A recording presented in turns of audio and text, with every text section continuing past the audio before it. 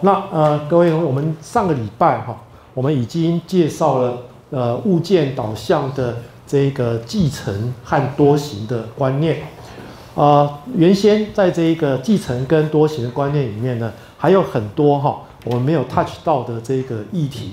那么呃，但是呢，呃，我决定先这个讲授这一个基础的视窗城市设计。那因为就是呃视窗的这个城市设计呢，是这一个呃物件导向，尤其是继承跟多形它应用的这个最好的这个例子。所以呢，啊，我们就啊今天就以这个视窗城市的设计呢作为主题来做讨论。那而且呢，这一个呃呃报报告完今天的这一个讨论以后哈，那各位回去有些城市你就可以尝试着。这个使用视窗城市来改写，好，那可以增加你对这个课程的这一个成就感。好，好，那我们现在就来看这一个物件导向的应用啊，最基本的一个应用就是视窗城市的设计。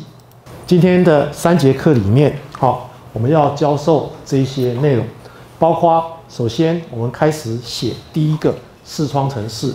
那么在你不必要 key in 这行一行的。城市情况之下，我们很轻松就可以完成第一个视窗程式。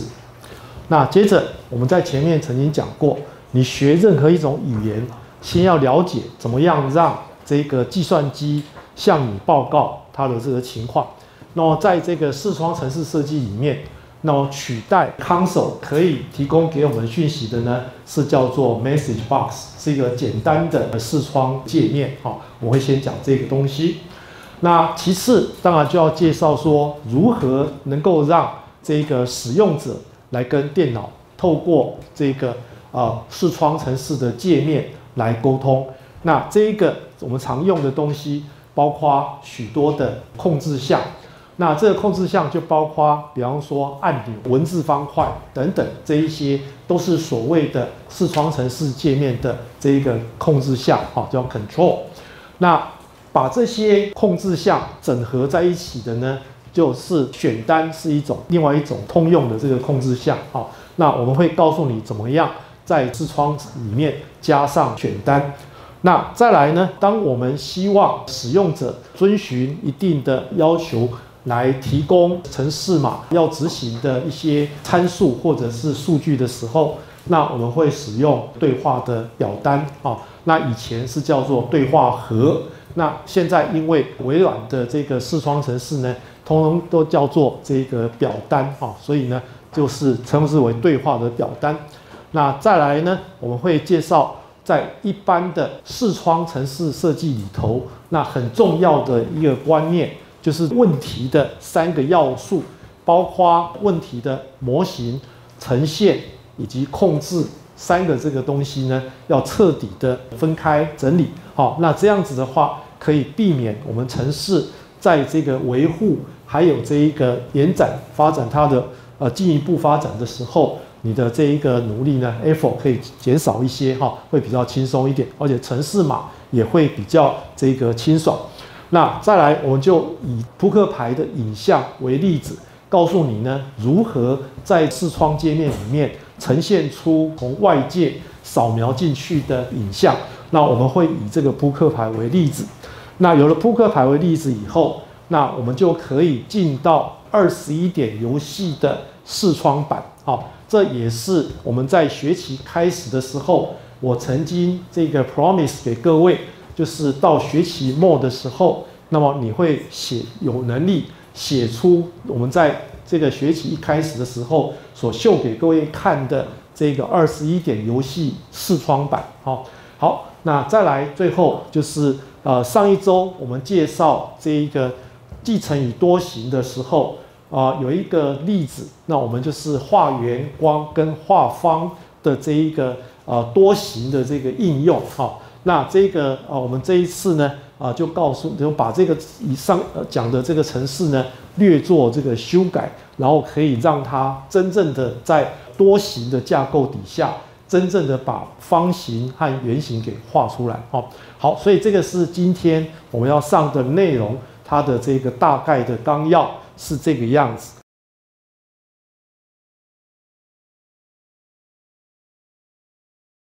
那我们就从第一个视窗程式开始说起，哈，好，那么第一个视窗程式呢，呃，其实是蛮容易的，哈，啊，我们就这一个呃演练一遍给各位看，要怎么样这个产生你的第一个这个 C Sharp 的这个视窗程式。好，首先我们来看一下，啊，要打开 Visual Studio 二零一七，那接着。在这里面呢，我们跟以前一样，要选择档案，还有新增哈。但是新增专案之后呢，那请注意哈，那在我们之前的讨论里面，我们都是使用主控台的应用程式，所以就是简单的键盘。跟文字界面的这个显示，好，好，那现在开始呢，我们要利用视窗程式的话呢，你要选择的是 Windows Form A P P，好，那请注意这个地方要在一个叫做 .NET Framework 底下的这一个视窗程式。此外呢，选好这个以后。那接着这里就有它的专案的名称，好，那当然我们要需要去改它，好，如果你是要产生一个新的专案的话，我现在不在乎它叫什么名字，所以呢，我就随它哈，因为我已经试过四次，所以现在这边是第五次哈，所以它秀出的是 Windows Four 那个 App Five 好，好，那所以呢，我们确定以后，好，确定以后。那我们就可以看到呢，它开始载入或者是创造是一个创新一个新的这个专案哈。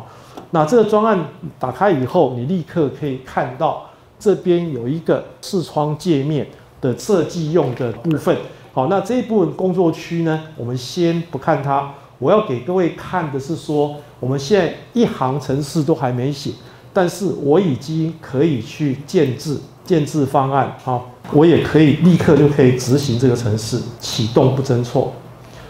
好，那你可以看到，那么画面上出现的这个视窗，好，这个就是我们一行程式都没有写，就已经产生出了一个这个空的这个字视窗。那这个视窗里面呢，这里你可以利用把它缩小、放大。或者关闭，哈，你就这三种基本的视窗功能就已经有了，哈。好，那在这里呢，这个我们要提出来的就是说物件导向的这个概念的时候，我们曾经提到过，它是为了这个增进这一个软体程式师的这一个呃生产力，啊，啊。那么，如果是以前的种种写法的时候，哈，那那个啊，以前的人呢，是用你写了多少行的程式来衡量你的这个程式师的能力，啊，但是呢，这个从刚才这个例子，你就可以看到，我们城市设计师可以说一行程式都没有写，可是呢，他已经完成了一个庞大的程式，可以秀出这样的一个空的这个视窗画面。那么，所以。这个啊，从从物件导向的概念以后，这个城市设计师的生产力不再以他写了多少行城市来衡量，而是以他有写了多少支可以重复应用的这个类别或者是城市来应用。哈，好，那接下来我们来看一下，在刚才的这个视窗城市的这一个专案里面，哈，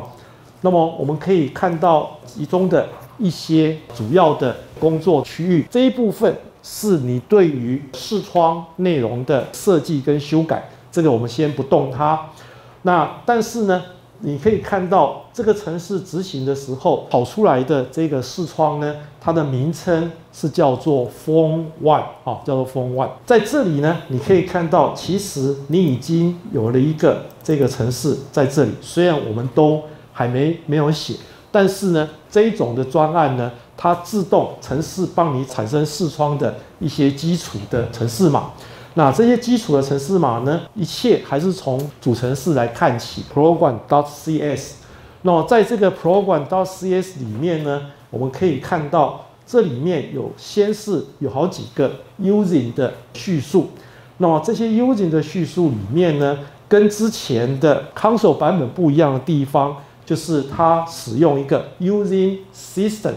dot windows dot forms 哈。那有这样子的一个匿名空间里面的内容，然后才可以让我们使用视窗的方式来执行我们的程式。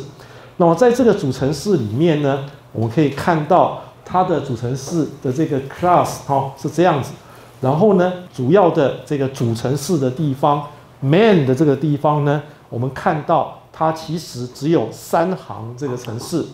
那这三行程式呢，其实都是基于某一个 class 叫做 application。那么 application 这个 class 呢，是包含在 system dot windows dot forms 里面的类别。那么这个类别里面呢，第一个叙述跟第二个叙述呢，对我们来讲哈，没有什么太大的需要注意的地方，所以我们可以把它跳过去。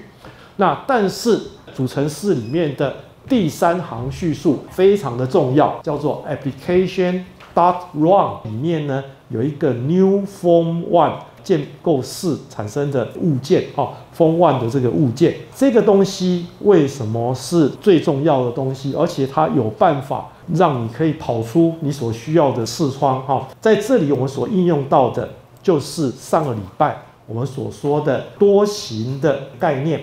好，那在上个礼拜我们讲这个多形概念的时候，哈，那我们曾经提到过说这个多形的概念是什么样呢？就是它的构成呢，有三个基本的要素。第一个是有一个继承的阶层体系，其次呢是能够虚拟复写，第三个呢是你要使用基础类别来作为参考。所以在上个礼拜我们介绍多形的应用 （Drawing all shapes） 的时候呢，我们提到在主程式里面，它只需要有一个。函式叫做 draw all shapes，那 draw all shapes 里面呢，其实它就只有这样的一个简单的叙述，就可以把 list 里面它的各种几何图形呢，都要求它自己去画出来。好，好，那因此呢，在我们的这个视窗城市里面的时候，我们也是有类似的这一个观念，哈，在这里，哈。那这个观念是说，我们这里的 application run new form one 就表示说，在 application 这个 class 里面，它有一个 function 叫做 run，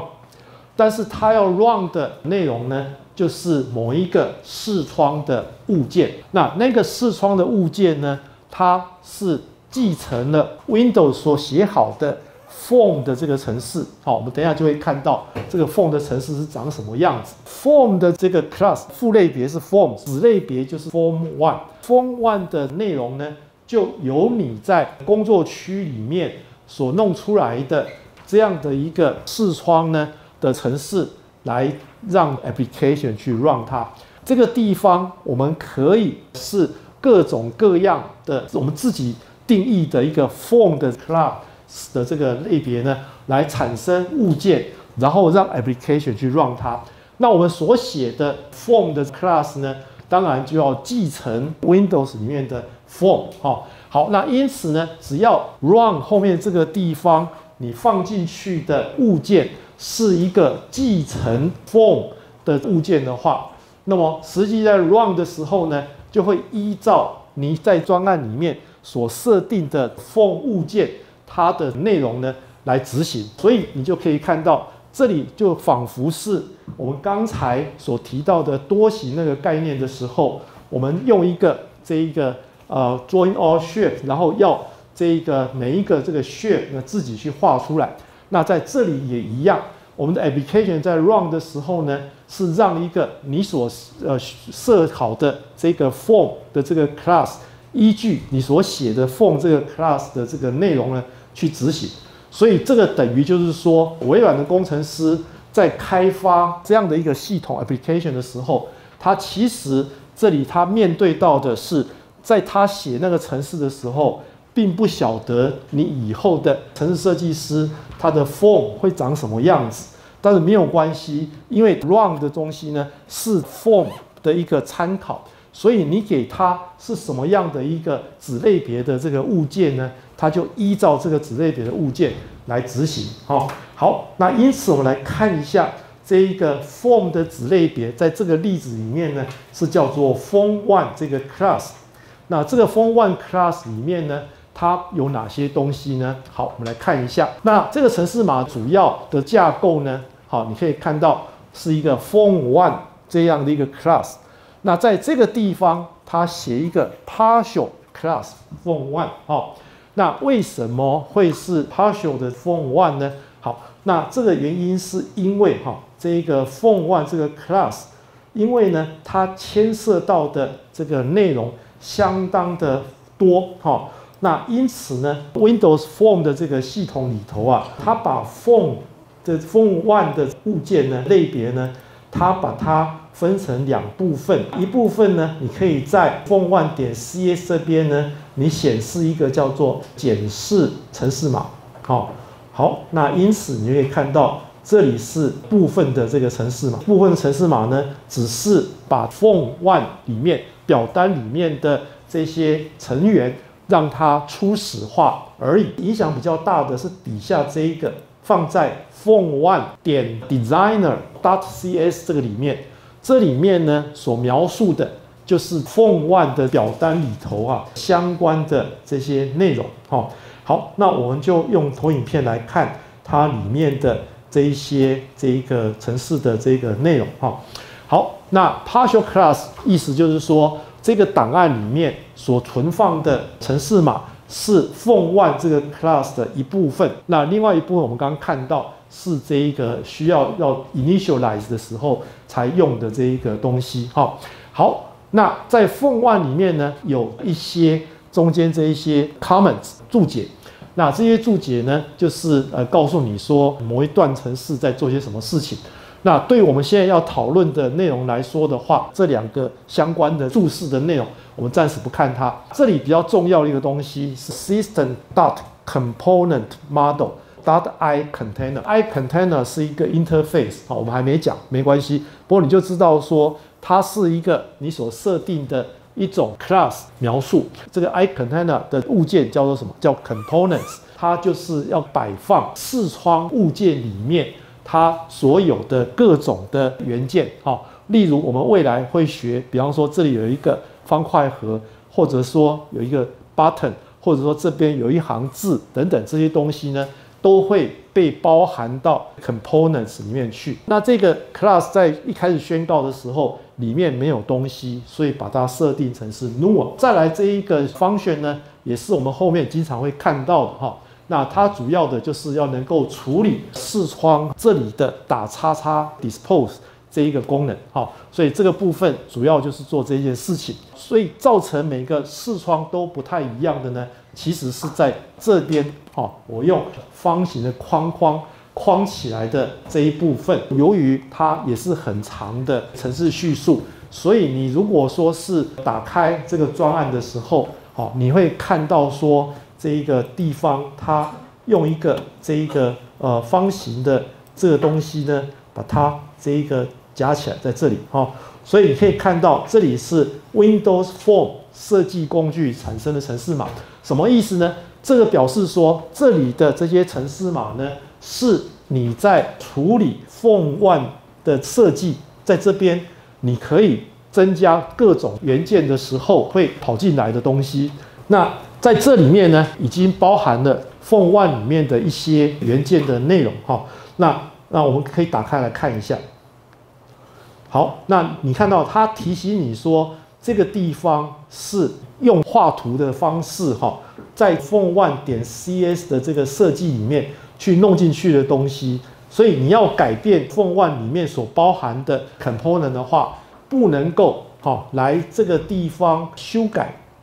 不能够在这个地方去修改这些呃，它这个地方用这个 Region Window Form 设计产生城市码，还有到这里这个部分这一段的这个城市码呢，你最好是不要去修改哈，因为这一部分呢是视窗设计的地方呢去弄出来的结果，然后由城市的工具产生城市码。所以呢，这一部分如果你要改的话，要到 design 这个地方哈，设计这个地方去修改它，而不可以直接在这边改它的城市码。那为什么会是这样？就是因为这些视窗城市呢，它彼此互相的这个关系哈，相当的复杂。那如果你没有小心的依照 Windows 写法的这种规定的话，那你很可能呢，到最后你的城市里面很多部分互相会不相容，会打架，那这就造成问题哈。那所以在早期这个呃 Windows 的城市刚出来的时候，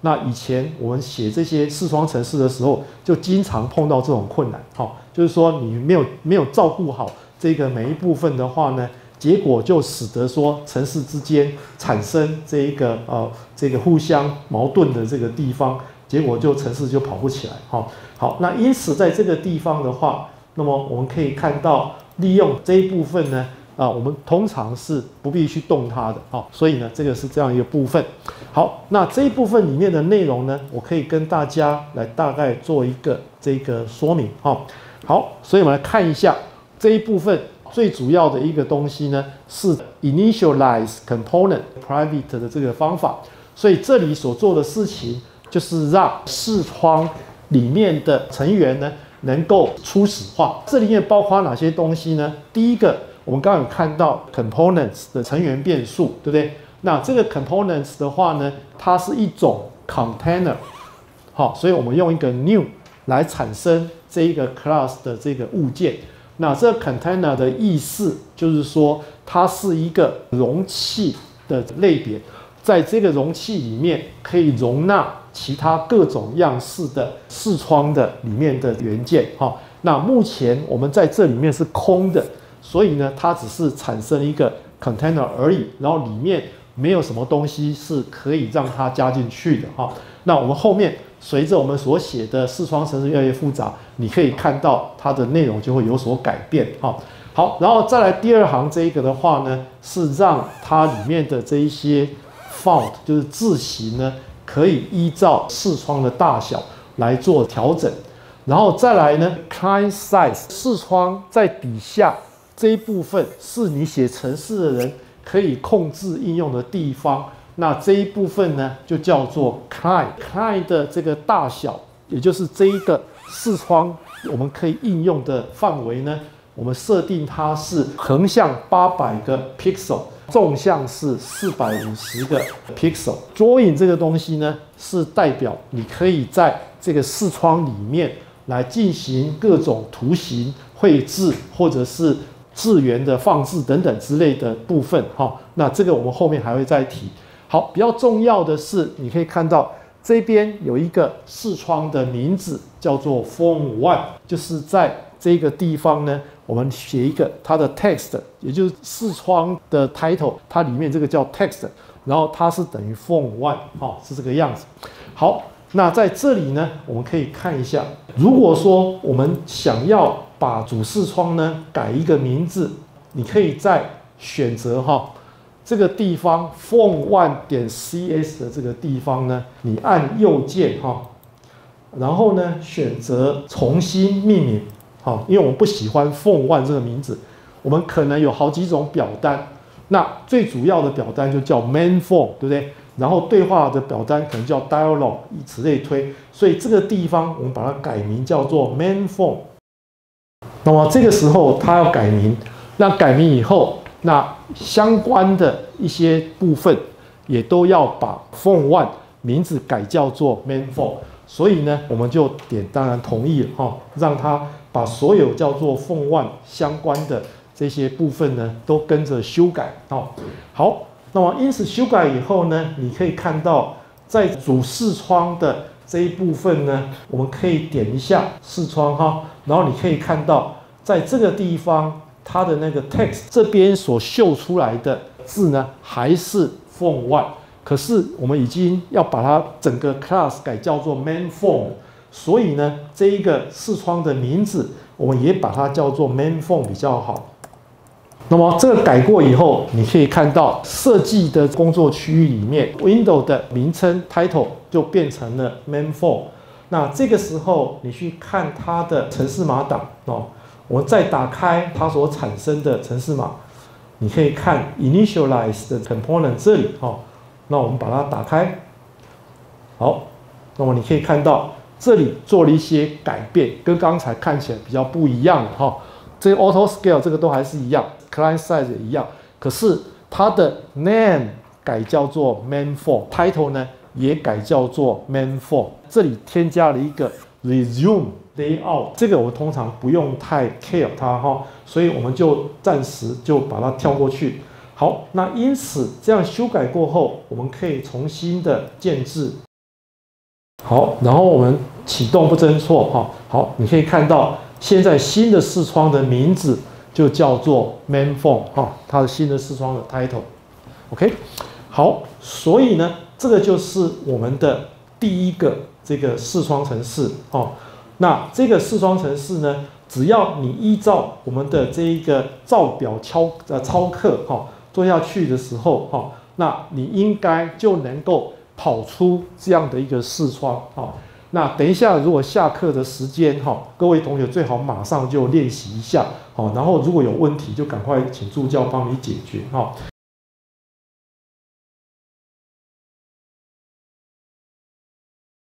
那接着我们再来看讯息盒，哈。那么这个讯息盒呢，啊，我们所要做的事情是什么呢？就是啊，基本上我们依循刚才的这一个啊视窗城市的这一个架构，那但是呢，我们在视窗城市关闭的时候呢，我们要让电脑呢通知我们一声，主要的 main phone 已经被关闭了，哦，那就是给我们一个 message，那这个就叫做 message box 哦，讯息盒，那这个讯息盒呢？会一直停留在那个地方，一直到除非你按一个确定以后，那这个整程式才会结束。这样的一个程式码很容易写哈。我们只要做一件事情，就是在主程式的这个地方呢，在本来的 application dot run new 一个 form 的物件之后，那我们立刻写一个叫做 message box dot show，用双刮弧。刮起来一个，我们要在对话盒里面显现的文字，这样就可以了。好，好，那所以其他的部分都不用改，其他部分都不用改以后呢，那这个程式跑起来以后呢，就会是这个样子。它出现一个主视窗，我们把主视窗关闭的时候，就出现这样子的一个讯息盒，告诉我们说 main4 已经关闭了。哈，确定以后呢？它才会把这个城市给结束。好，好，那在这个地方，各位请特别注意一点，我把我们要秀 message box 的这个叙述，哈，在它的前后，我加上了很特别的这一种注解。这个是惨痛的经验以后所学到的教训。各位注意到，在写这些视窗城市的时候，啊，很多时候哈，那个你要加进去的城市呢，会跟城市码它本身哈，这一个呃视窗工具产生的城市码会交互混用在一起。那呃混在一起以后呢，当你要这一个呃侦错或者是这个修改你的城市码的时候，就有这个麻烦，因为你可能呢一不小心就改到了这一个系统所产生的这个城市叙述。所以呢，为了提醒你自己。说哪一部分的城市是你自己写的，然后哪些部分的城市是系统产生的？那在这种情形之下，我们建议哈，强烈的建议各位，在你所要写的城市码前后加上这一些重要的花边，把你要写的那个内容呢刮在这个里面哈。那这样子的话呢，将来你一看就知道说，哎，这里这一城市只有这一行是我写的。所以，如果我要改的话，只能改这一行啊。那其他的这些城市，你最好不要去动哈，因为你想想看嘛，如果你把这一行给它整个删掉的话，那你这个四装城市整个就没有了，对不对？好，那因此呢，我们基本上就是由系统产生的城市码架构，我们不动它。那在我们自己所要加进去的城市前后呢，加上适当的这一个标示，哈，让你自己呢可以分清楚，哈，那这个比较好。那这个这一种这个花边这个东西呢，是很早期的时候我写视窗城市的时候呢，有一本书采用的这个方法，所以我后来都这个呃用这种方式来加以区隔，效果还很好，哈。那当然你可以自己选取，你觉得你自己比较这个呃看得懂，哦，然后。这一个啊，也可以让人家一目了然的这种方式来这一个呃呃区分呃系统的城市码跟你的城市码，好，那是可以的，好，没有问题。好，那因此呢，我们只是在这个刚才的这一个城市码里面呢，我们只是在这个地方仅仅是加进去一行呢。就是叫做 message box，那显然这个东西也是一个类别，我们直接跑它里面的 static function，就是 show close。好，因为这个程式我等一下就不储存它的变化哈，所以呢，我现在这边加进去，我没有在前后加上那些花纹哈。好，那我们看一下，如果我们现在建置以后，然后再启动的话，那么你可以看到呢，如果我把这个关掉，好，就出现。一个讯息盒，这个讯息盒呢，就其实是仿佛我们在学 console 的程式设计的时候，system 到 console 点 write line 等于是一样意思哈。所以当你呃电脑里面要写一些讯息来通知你的时候，就可以用这一个 message box 点 show 来取代这一个视窗呃那个呃 console 城市里面的这一个 write line 的这个程式嘛。好，好。那这个呃，他要这一个呃呈现他的讯息的时候，使用这个讯息盒。那当然，有些时候我们会希望的是这个使用者跟视窗可以互动啊。使用者跟视窗可以互动的话，那我们就必须要在视窗的内容里面添加一些功能，添加一些花样。在这个范例里面呢，我们要产生一个视窗，首先看到。会有一个提示的字串，输入你的姓名，在这个地方我们拉出一个叫做文字方块 （text area），使用者可以在这一边 key in 姓名，然后呢，在这里我们给它加上了一个 button，叫做确定。所以呢，当他输入姓名确定以后，系统就产生一个对话盒 “hello 某某某”，然后再确定关闭结束这个程式。那你可以想见，这个如果我们是用这个 console 来写的话，我们大概会是首先是这一个呃 system 到 console 点 write，然后呢就是输入你的姓名，对不对？然后再来是 console 点 read line，然后把这一个名字读进来，然后这读进来以后，然后你可能再来 console 点 write line，然后 hello 某某某，对不对？然后就结束。好。那在 console 里面是这样写的哈，那现在在视窗里面的话，那我们的做法就是弄一个这个表单，然后你也有你的这个 prompt 提示的字串，那么也有你可以输入你的这个姓名的这个文字的区域，然后这个以前我们是按 enter，现在我们是按这个确定的这个按钮啊，这个 button。好，那因此这个结束以后呢？这个类似 console 点 write line，然后这一个 hello 某某，那我们在这里就是用一个 message box 来呈现这样的一个内容。哦，好，那这样的程式其实它的这个在跑的时候，它的概念是这样子的。哦，也就是说这些视窗程式呢，在执行的时候呢，通常都是依循着这样子的一个流程在进行。首先，系统它会建立视窗。表单跟物件，就像这个，哦，这个这样的一个表单。那这个表单它执行，也就是说，application dot run 这一个 form 以后呢，那么我们可以在荧幕就看到这样子的一个视窗，哈，在这个地方。那么这个视窗在那里的时候呢，这里跟我们的这一个 console 程式很不一样的地方发生在这里，啊。在我们 console 的城市的话呢，那么如果你就是呃这个没有 enter 的话，哈，没有输入东西的时候，它就在那边一直等，对不对？好，那现在在视窗城市的时候也一样，你进到进到 run 里面以后，application 到 run 里面在做什么事情呢？第一个，它是在等待的一个状态。它秀出这个表单以后，那么这个表单呃一直放在这里，系统就在这边等，等待什么呢？等待 event 发生。所以这样子的城市的这种设计呢，呃，也有人把它叫做 event driven programming，就是说在视窗城市里面，其实你的所有的动作。都是一些事件来驱动的哈，所以呢，这里比方说，我这里按了这个按钮确定以后，就是一个确定按钮被按下的事件发生了。那这个事件发生以后呢，四川表单里面呢，他就去找说有没有你写的哪一个城市哈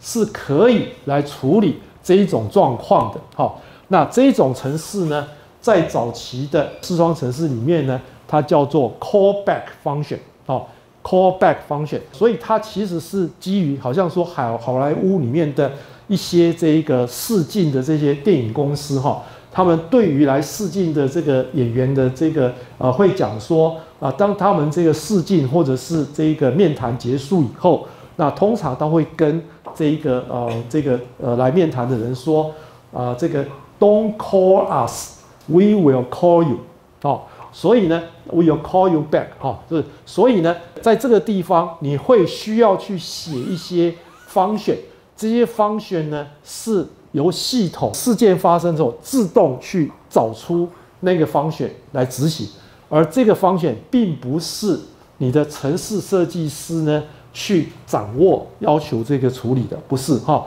是等这个状态发生以后，系统自己去找出你所写的这种 callback 方选。去执行，OK，好，那因此呢，你按了这个确定以后，它就处理说，哎，这里面有一个字串叫做正式康，这个字串呢，我们让它结合起来以后，我们就要求这个 message box 来做一个呈现字串内容的一个做法哈。那因此这就事件处理完毕了，对不对？结果呢，讯息盒这个地方呢，我们又进入了等待的状态。那一直到哎，我这一边把它关闭以后呢？那么再也没有视窗表单存在的时候，于是我们就开始把所有表单关闭以后呢，就释放这一段视窗程式它所占用的这些资源呢，全部把它释放回去给作业系统，然后就离开 application dot run 函数，然后结束我们的这个视窗程式。好，好，因此呢，这个视窗程式。它的这一个啊，这个处理的这个过程哈，跟我们前面所学的这个 console 的这个城市的写法哈，显然是有一些这个不一样。那最主要的不同呢，就是在这个呃城市设计的过程里面，你要讲究的是以这个表单来这个跟使用者互动，那么并且使用这个 event driven 哈事件驱动的这个方法。来设计你所要写的这个城市的内容。好，那接下来我们来看说，怎么样可以在视窗里面添加像是字串、文字方块，还有这些 button 呢？好，那就是我们在我们的这个呃城市里面呢，我们可以看到，你新增以后，你可以注意到视窗设计的工作区里面，在它的左边这个地方呢。有几个伺服器总管，或者是工具箱、资料来源等等。这里我们要用到的是工具箱。那么，因此我们就把滑鼠点到工具箱这里，于是你就可以看到有很多的这一种元件，视窗元件呢可以使用。那一般我们用到的简单的东西呢，是叫做通用控制项，哈，General Control。那 General Control 就包括哪些呢？比方说，包括我们看到的 Button、Checkbox、Label、Tree View 啊，什么 Rich Text Box 啊，好，那另外还有像是功能表、工具列，哈，等等，对话方块啊，对话方块编辑器，好多哈。那但在这里呢，我们只用到简单的一个字串、一个文字方块以及呢 Button。那因此呢，在设计这个程式的时候呢，那我们所做的事情很简单，就是从工具箱里面，我们拉一个 label 到这里来，然后按两下以后，把 label 的原来的字串改成是输入你的姓名。再来呢，我们就去寻找 text box 文字的方块呢，我们把它拉到这边来哈。那它的长度跟宽度可以依照你自己的需要去调整。那再来，我们就把 button 拉到这边来哈，然后这边变确定哈，这个样子。好，那这样就完成了视窗的架构哈。还有一点很重要的是 button 的应用。好，我现在举一个例子哈，比方说我把一个 button 从这里拉进来这里。你可以去调整 button 要呈现的文字，你就把这里的 text 改一下就可以。好，好，但是还有一件重要的事情，就是说你怎么样让这个 button 被按下去的时候，它会进行你所要它从事的工作呢？我们这边选择 button 以后，那这个时候在方案总管的底下这一部分呢，叫做属性，然后它这里告诉你这是 button one 的属性。那这个属性跟我们前面讲的 property 那个属性不是很一样哈，它这里的所谓的属性是指 attribute，也就是这个物件它所具有的一些各种面向的这个参数。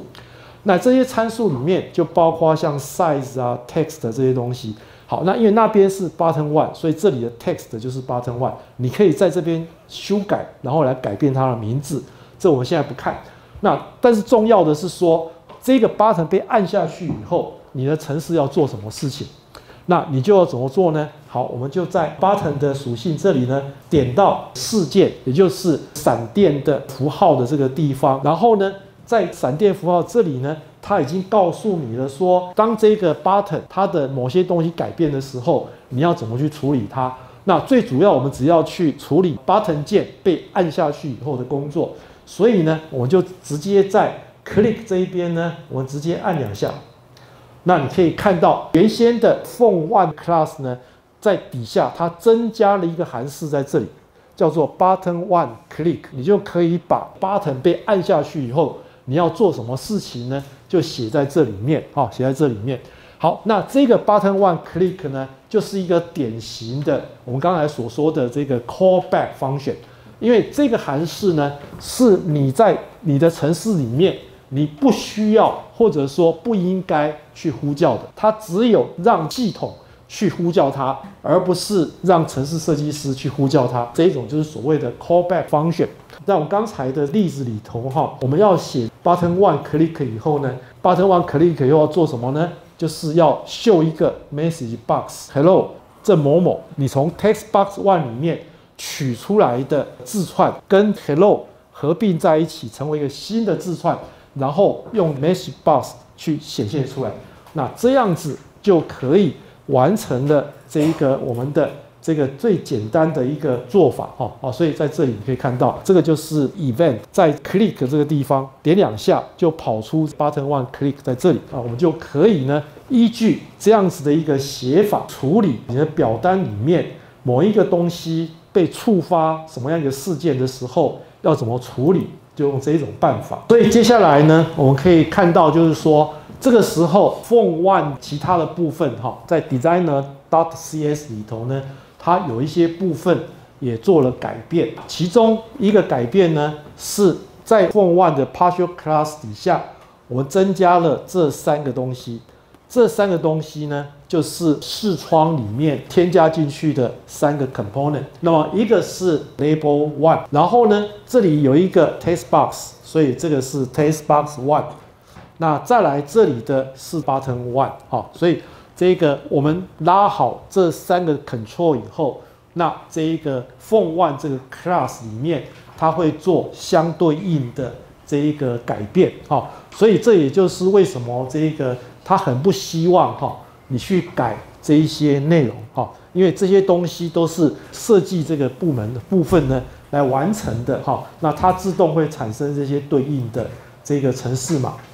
好，那所以这个时候工具产生的程式码呢也有一些改变哈。我们看到在 initialize component 里面，它就是让 label one、text box one、button one 这三个东西呢。能够产生哈，在 initialize 的时候就产生这些东西，它会让 layout 呢先 suspend 一下。那后面这里呢，它就把 label one、text box one、button one，甚至 font one 这些东西呢，添加进去一些内容。例如说 button one，它就加进去了这些东西。好，那这些东西都是我们原先空的视窗的时候里面是没有的。哈，那但是我们拉了这些东西进去以后呢，城市这个系统呢，它就自动帮你加进去了这个有关于 button 的这些内容，button one 的这些内容。全部都把它放进去，哈，这个改过，哈，好，所以呢，button one 可以变，哈，然后再来就是凤万这个地方呢，同样它也添加了这些东西。你可以看到刚才的 button one、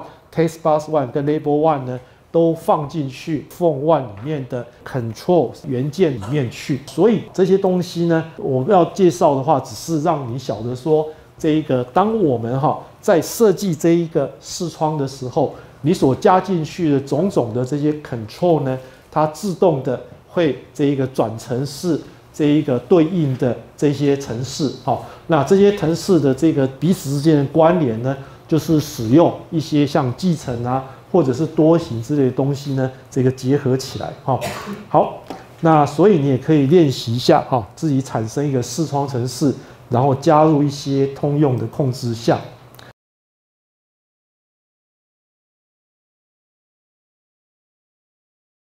好，那我们再来看可以加进去的另外一种 control 呢，是选单。假定说我们设计的选单呢，大概是像这个样子。所以我们在视窗底下呢，这里我们加进一个选单叫做启动。那这启动里面呢，它接下去有两个 sub menu 哈，这个一个叫输入表格，一个是计算。而这个计算呢，又包括计算各栏的总和是多少。计算各列的总和是多少？计算全部的总和是多少？等等。所以呢，当你选择工具箱里面的 manuscript 这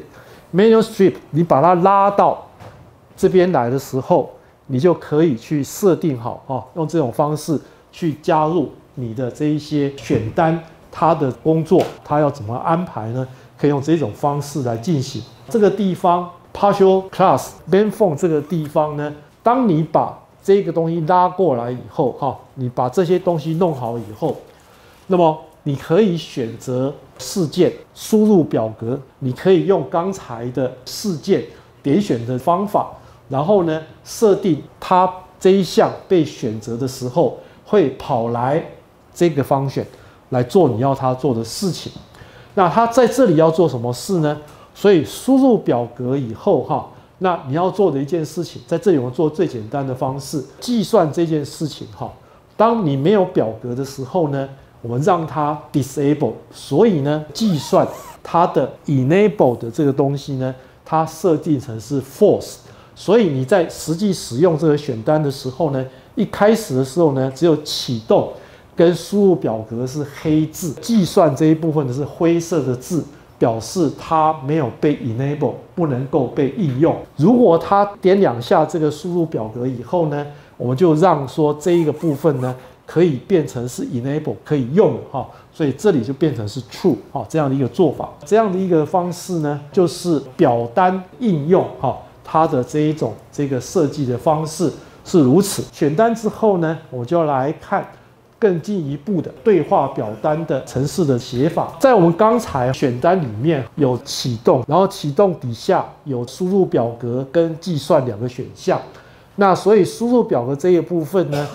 当他选择输入表格以后，那我们就需要开一个视窗，让使用者呢来输入阵列里面的数值内容嘛，对不对？好，那因此我们就假定说，如果是呈现表格这个选项被选了以后呢，那么我们就会产生对话表单 dialog 在这里。然后呢，假定呢，我们只有六个数值呢需要使用者填写啊，也就是说，我们假定它所处理的是一个二乘三的矩阵表格。好，那因此在这个地方呢，你可以想见，在这个对话表单里面，我们放进去。这个一个 label，两个 label，三个 label，四个 label，五个 label，六个 label。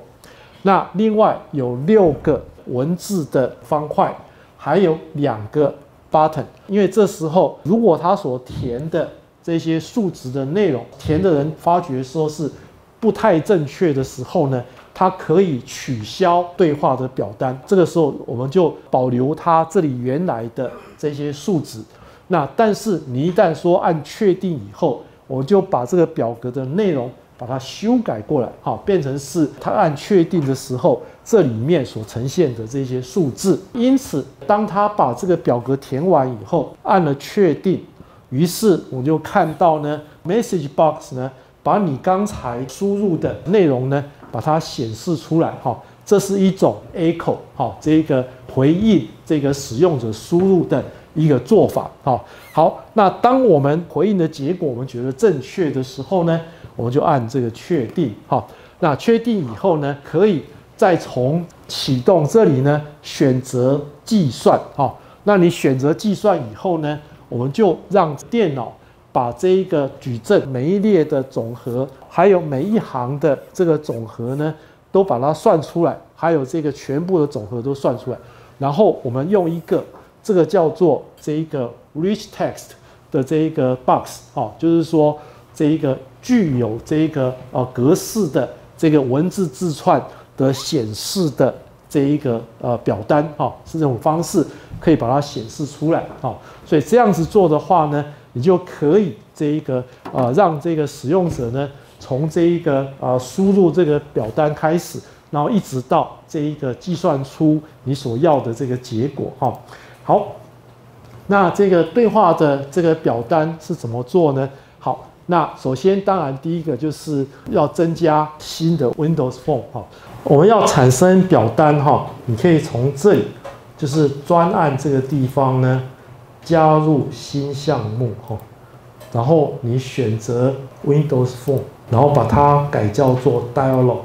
那因此你就有了一个。另外一个表单的设计的画面，当然我们也不要忘记这个工具箱里面，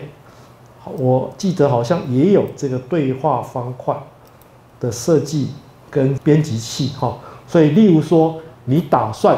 打开某一个档案的时候，那你直接就使用 Open File 的 Dialog。那 Save File 的时候，好，那你可以点选这个以后。那它就可以依照一般我们的 Windows 的打开 file 跟关掉 file 的方式哈去弄。那另外你看还有别的，像你要选择颜色的 dialog，或者是选择字形的 dialog 等等，这几个 dialog 我没有用过哈。那你有兴趣自己去研究一下哈，那个其实并不难哈，这是要那个花点时间去了解。好，那因此呢，啊，我们就是产生一个 Windows Form，这个是 label。所以这个还是一般的控制项，这没有问题哈。然后这里要弄六个 text box 哈，那这个地方就要注意的是，这六个东西它可以你在拉它的时候哈，有一些虚线出来，会帮助你让它对齐哈。好，再来一点，就是说这些东西呢，内容呢是放在叫做 text 的 data member 里面。还有一点呢，文字方块可能是靠左对齐。还是这个靠右对齐，好，那现在我们这里进来的东西是数字，所以呢，你可以选择 text align，哦，就在这一边，在这一边呢去选择 text align，让它选择是靠右，好，靠右，这样的话才看起来像一个比较像一个数字的输入。那另外呢，这时候有两个 button，确定、取消，你就依照实际你的作为呢来设定这两个 button 被 click 以后。该怎么做？好，好，那再来是刚才这个呢，是叫做对话表单，哈，是输入这一个呃六个这个数字的这种方式。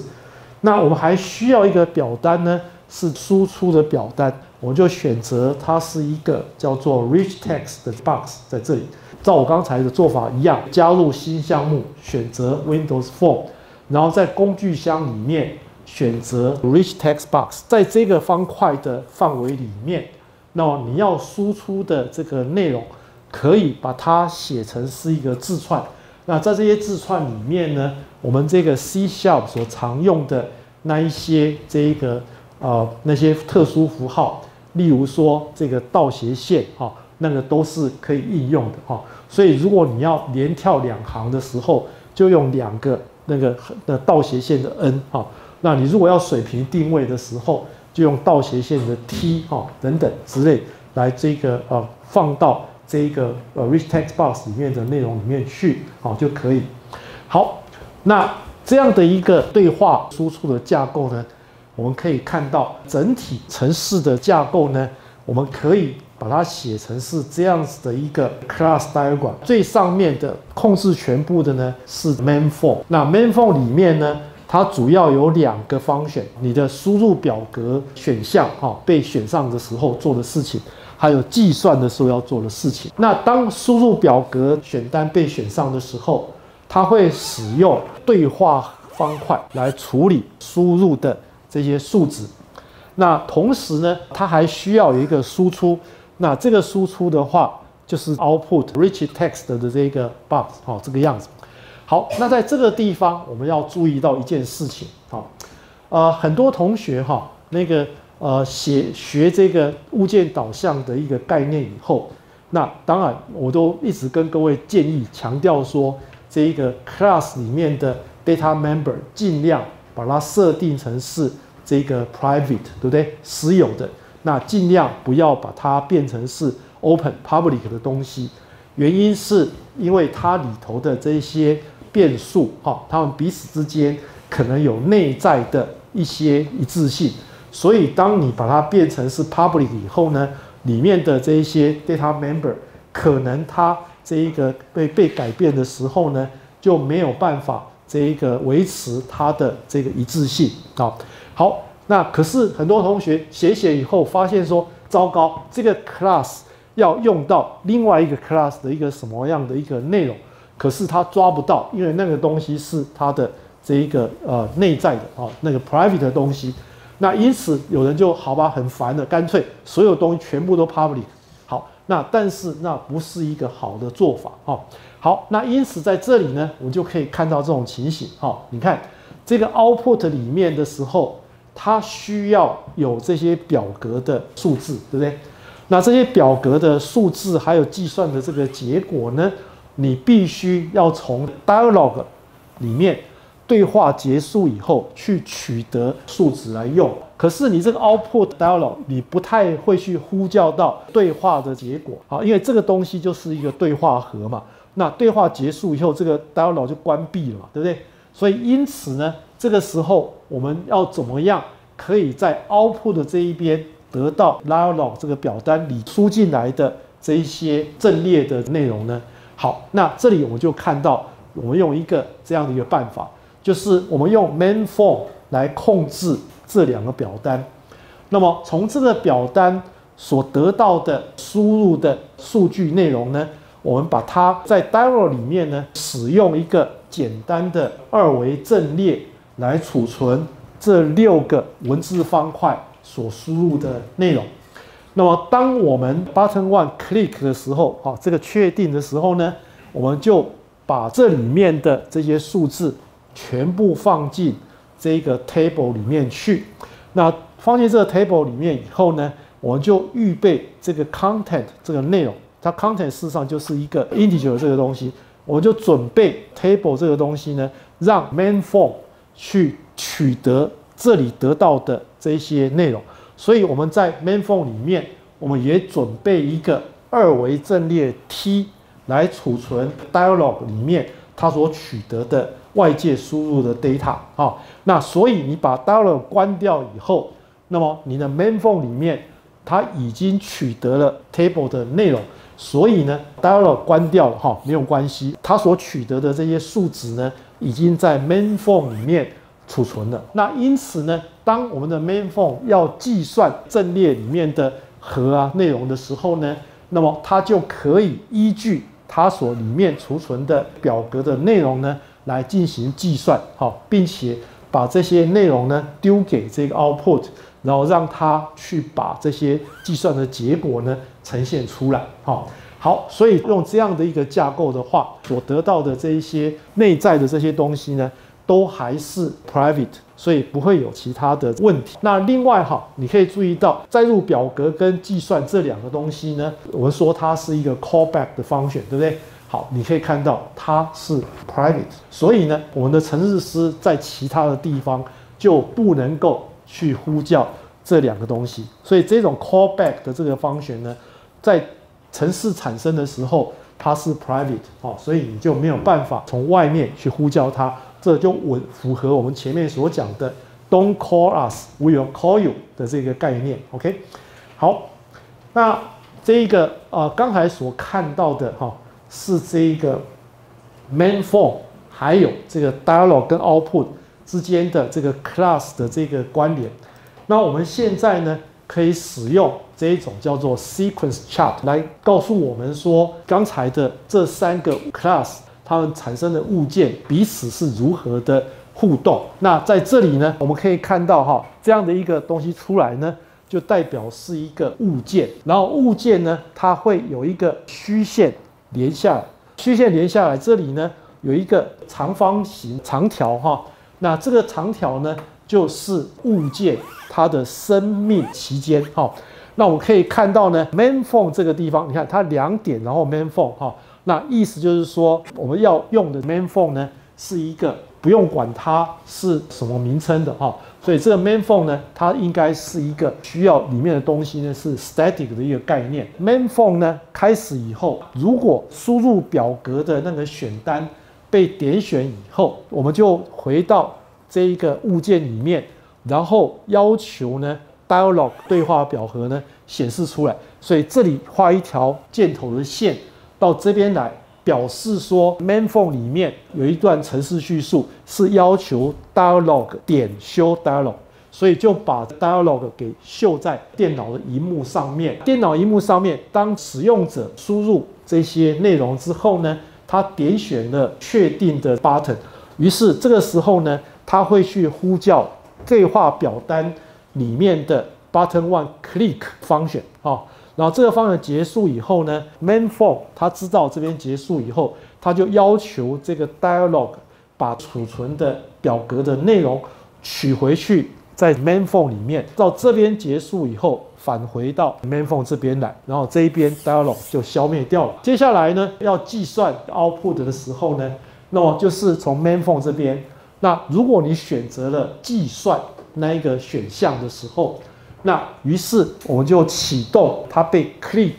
的 function，，它就要开始做 do computation。那 do computation 呢，是 output 选单物件里面的 function，这里面呢。它就可以计算 row 列的总和、column 的总和、全部的总和。这些算完以后呢，main form 就要求它把 output 的结果 show dialog 把它秀出来。这个是架构上它的 class 之间的关联是 UML。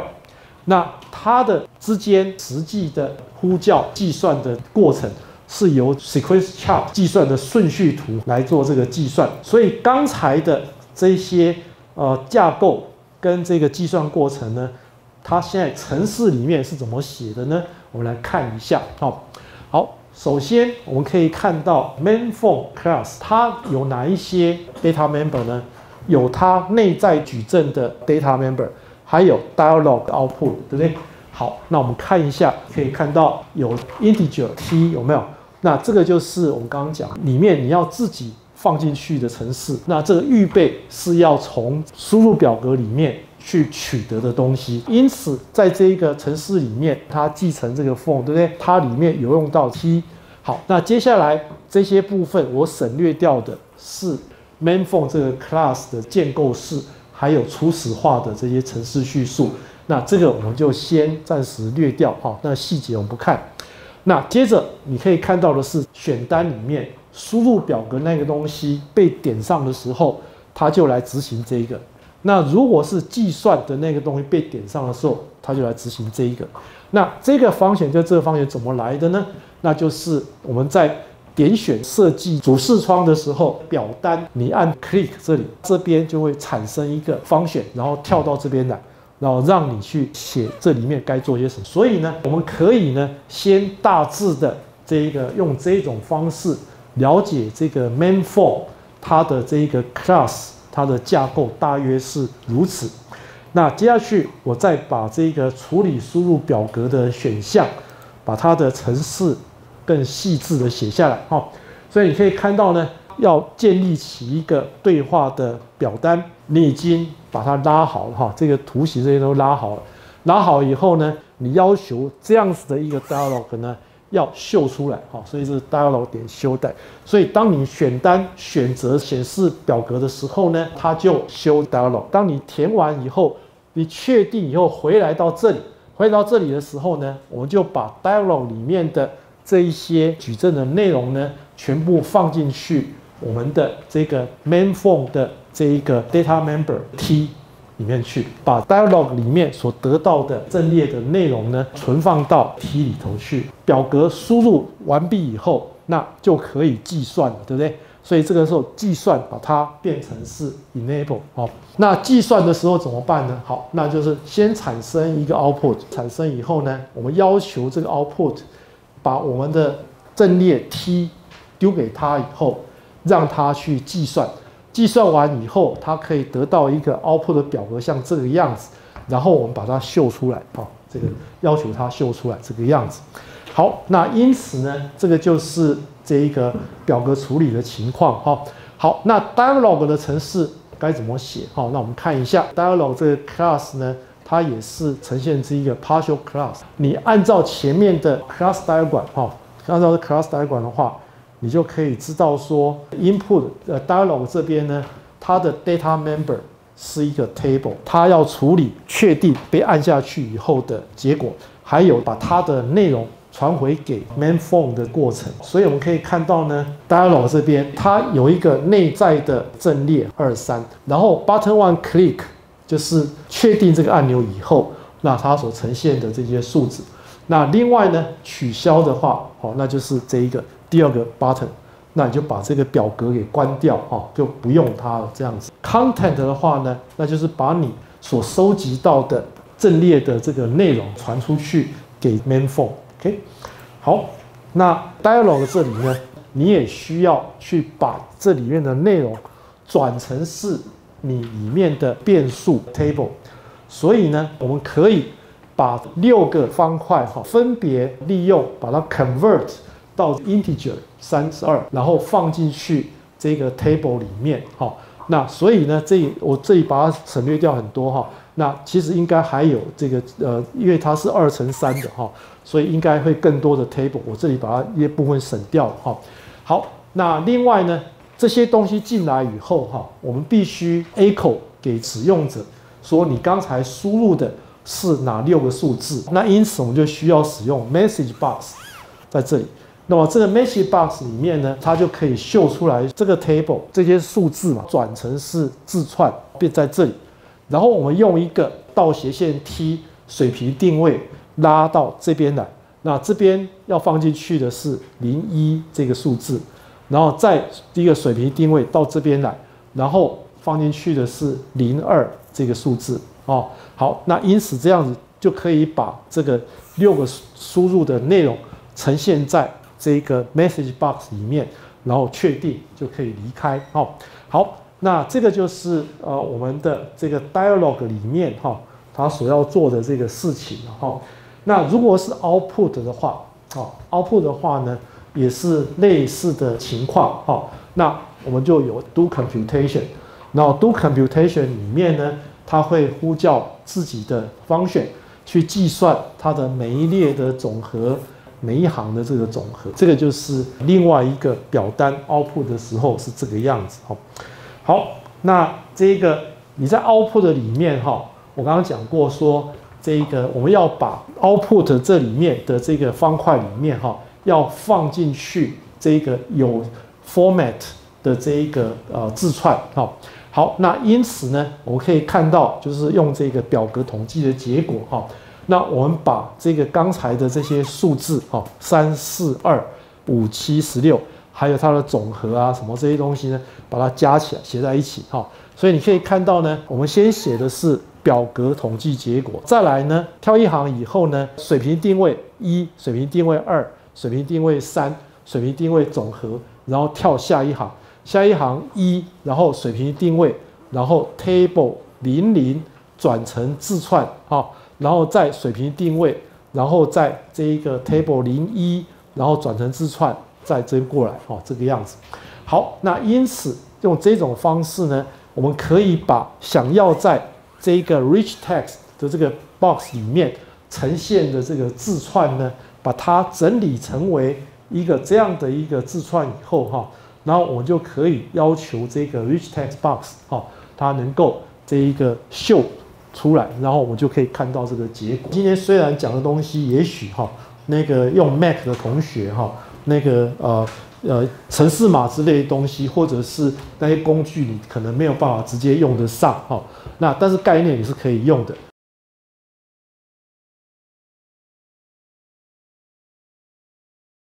还有再来，即使是 Mac，它也用到了我现在所要讲的 MVC 的这种架构哈。这种架构现在变成一个非常非常普遍的一个概念，所以包括像是这个云端城市的设计。等等这些东西呢，也都会用到这一种 MVC 的这种概念哈。那而且根据我自己写城市的这个经验哈，这个 MVC 的这个架构是非常棒的一个概念哈。虽然它的概念很简单，但是呢，如果你在写城市的时候能够这个注意这些呃要点的话，你的那个程式会比较容易撰写跟这个维护。好，我们来看一下什么叫做 MVC 的这个 architecture 哈。啊，所谓 MVC 呢，哦，M 就是指 model，V 就是指 view，然后 C 就是指 controller。好，那 MVC 什么意思呢？也就是说，当你在开发你的这个应用程式的时候，那么事实上，这一个很多时候呢，你所要处理的这些物件，它可以分成三类。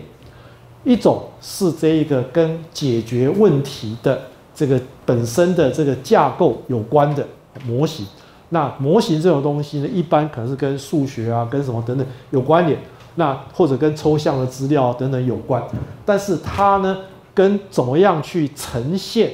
它的这一个相关的输入或者输出呢，这个东西它无关哈。那所以你必须准备另外一个东西叫做 view。这些 view 的这个 class 呢，它可以来呈现出 model 的概念，好，然后呈现在这个画面上面，好，或者是跟它互动，好，那这个叫做 view。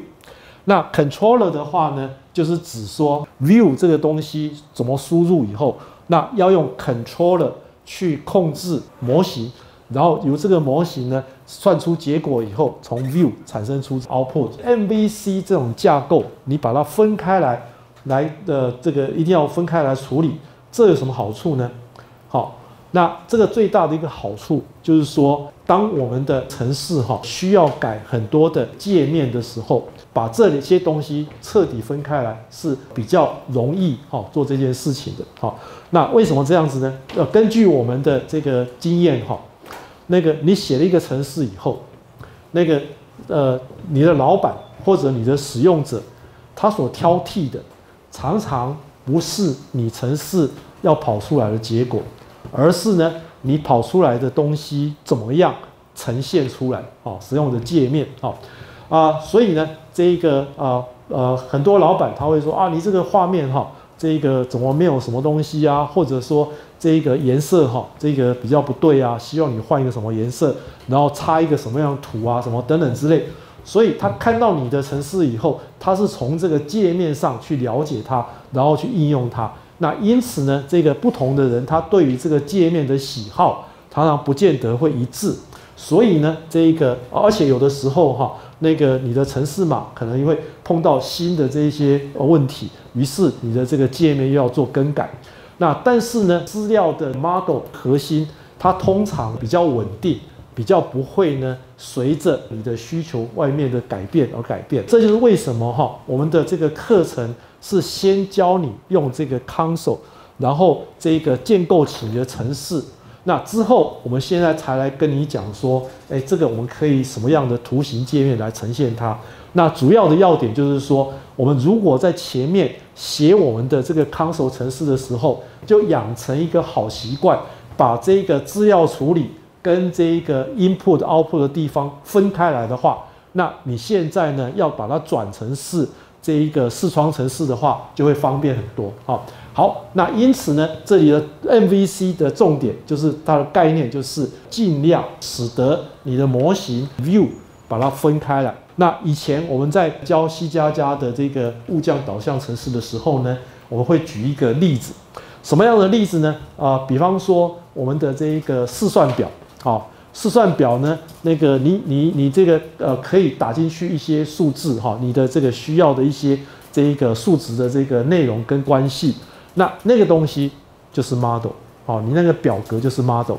然后呢，你这个表格你会希望说，我用一个比方说长条图来秀这个结果，那或者是你可能希望它用一个曲线图或者一个三 D 的曲面等等来呈现这个表格的内容。那么，因此，你的 model，也就是你的试算表的表格，这个 model 呢是不太会变的，哈，它就是在那个样子。可是呢，这个当你需要这一个把这些呃 model 的这个内容呈现出某一种意涵的这个呃界面的时候，那么你可能就需要选择说你要采用哪一种的这个输出方式。那因此呢，这个同样的一笔这个啊。table 的这个资料呢，它可以转换成各式各样不同的这一个界面来呈现。好，那因此这一个我们可以把这个模型跟这个它所呈现的这些哦使用界面呢彻底分离。好，好，那在以前的那个微软的这个早期的视窗程式开发工具哈，叫做 MFC Micro Foundation Classes。那在那样的一个呃架构里面的时候。它也是假设你的这个 document，也就是我们现在所讲的 model，它的跟你的这个呈现的这个视窗界面要把它分开了。所以在早期的这个视窗程式里面哈，那它也是就告诉你哈，直接就是分开。如果你要 follow 它的这一个架构的话，哈，好，那现在呢，呃，我们就尽量的使我们的问题哈，它的这一个。模型跟它的界面要尽量的分开，那这个东西其实也符合一个建筑学上面的这个 philosophy，因为在建筑学里面哈，那个你所设计的这个建筑，那经常他们要这个呃有一条这个他们的规呃原则就叫做 form follows function，好，这个 form 不是我们现在讲的 form，而是说这个我们曾经提到过，这个建筑所强调的就是这一个。它的这个呃架构跟它的功能，对不对？好，那因此，如果你设计一个建筑，如果它是要拿来作为教室使用的时候，那你设计教室的这一个方式，跟你要设计它成为这个家里客厅的方式，绝对会不一样，对不对？所以呢，在你建筑设计的时候，你的形式要依循你所需要的功能来决定。那同样的。当我们设计我们的这个城市的时候，我们城市的这个使用界面也要 follow 我们所要做的这一个工作，好的风这个样子，OK，好，所以以刚才我们所看到的这一个啊表格处理的城市，记不记得？就是一个 main form，然后控制 dialog，然后把结果用 output 呈现出来那样的一个城市呢？我们现在。依照我们刚刚所说的 MVC 的原理来把它切割一下，好，好，那因此呢，这个呃，我们刚才可以看到刚才的那个表格计算的这个过程里面，它其实里头的这个 model 的部分是什么？是这个表格，对不对？包括它的这个呃计算等等这些东西是这个表格，对不对？好，那么因此我们的 model 就是这个表格。好，所以我们建构起一个物件，叫做 table。这个 table 里面它具有二维的阵列，叫做 data。然后它里面可以做这些计算。这个是 model。所以我在这个地方我画一条虚线啊，表示说这条线以下的部分是 model 的成分。好，也就是我们的城市码最核心的地方。那么这个 table 呢？我们需要依赖 dialog 对话方块来决定阵列里面的内容。那我们也需要 output 表单把这个计算的结果给显示出来。那因此 dialogue output 就是所谓的 view 的部分啊，这两个是 view 的这个 class。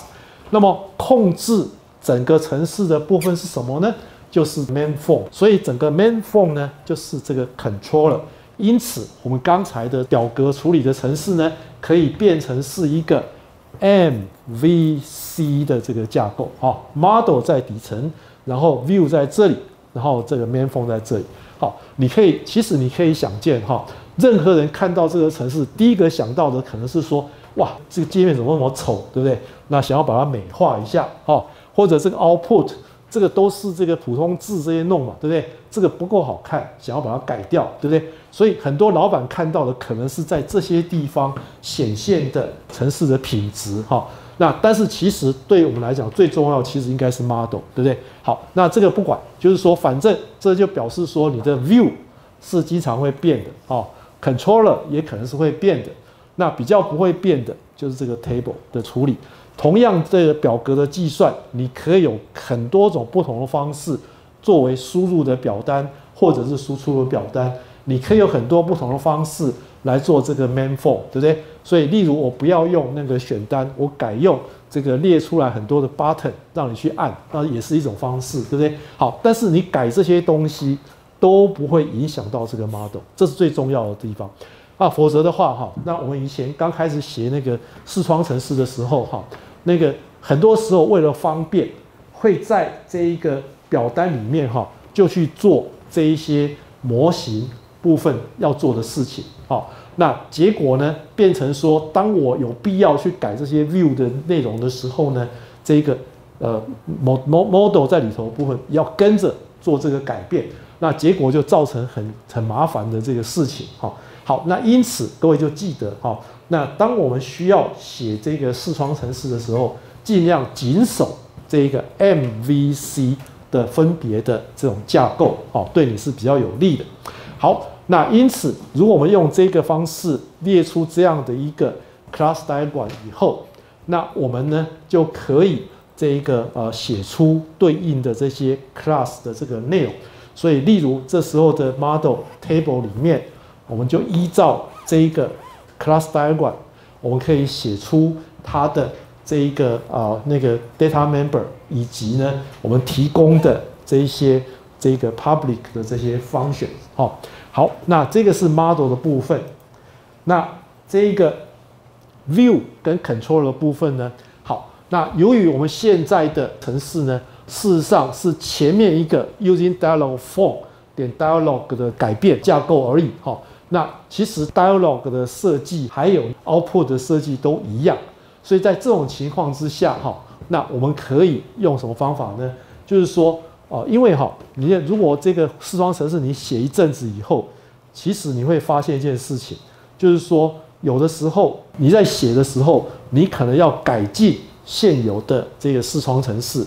可是现有的视窗程式，当你另起一个专案的时候，假定你的这一些 view 跟 controller 是维持，呃，没有要没有打算要改它的话，那这个时候呢，这一个啊，如果你你依照这个步骤重新把这个 dialogue 跟 output 呢，重新再来画一遍哈，这些那个啊那个文字方块啊，还是 button 啊什么那些东西哦，我跟各位讲，这个真的会很烦的哈。那个你不要以为说这个视窗程式看起来很好看哈。但是实际上，你写它的 program 的时候很头痛，所以呢，像这一些界面这些东西哈，我们都只想只做一次，哈，不要说我这个方案里面把这个东西拉过一遍以后，那下一个方案是一模一样的东西，那我把 dialogue 呢又要重新呢在新的专案里面又拉一遍，哈，那其实会很烦的。所以呢，这一个为了这个呃减轻这一种重复做这些事情的。这一个工作呢，那我们可以用这个方式哈，就是说，在我们新的这个专案里面哈，那我们呢选择加入现有的项目，好，那把前一个城市里头的 dialog 点 cs output 点 cs 呢，把它加到你的新的城市里面来。那你加到新的城市里面以后呢，又注意到说前面一个过来的东西呢。它的城市码里头哈，namespace 是不一样的哈，因为我们的城市码专案名称会让你的城市呢都包在一个命名空间里面，所以你注意呢，现在把 dialog 跟 output 搬过来用的时候，你要注意那些原始城市码，还有画那些图哈，它原先的命名空间是 usingdialogfor，。所以呢，我们把这些城市码抠过来以后哈，那要注意的就是说，你在主城市，你在新的城市里面，你就要写一个 usingdialogfor。那这样子的话呢，它才会去用到你从前一个城市。转过来的这一些城市码，好，好，你可以看到，因为我们现在的新的这个专案名字叫做 MVC example，对不对？好，只是说我们希望来重复使用前面那个 dialog form 对话盒跟这个输出的城市码，你只要把那些东西抠过来以后，在你的新的城市里面加上 using 旧的 namespace，那这样就可以了，哈，好。那这个 MVC 大概就讲到这个样子哈，所以观念上就是这一个尽量把你的问题的所有的类别分成这三种这一个方式哈。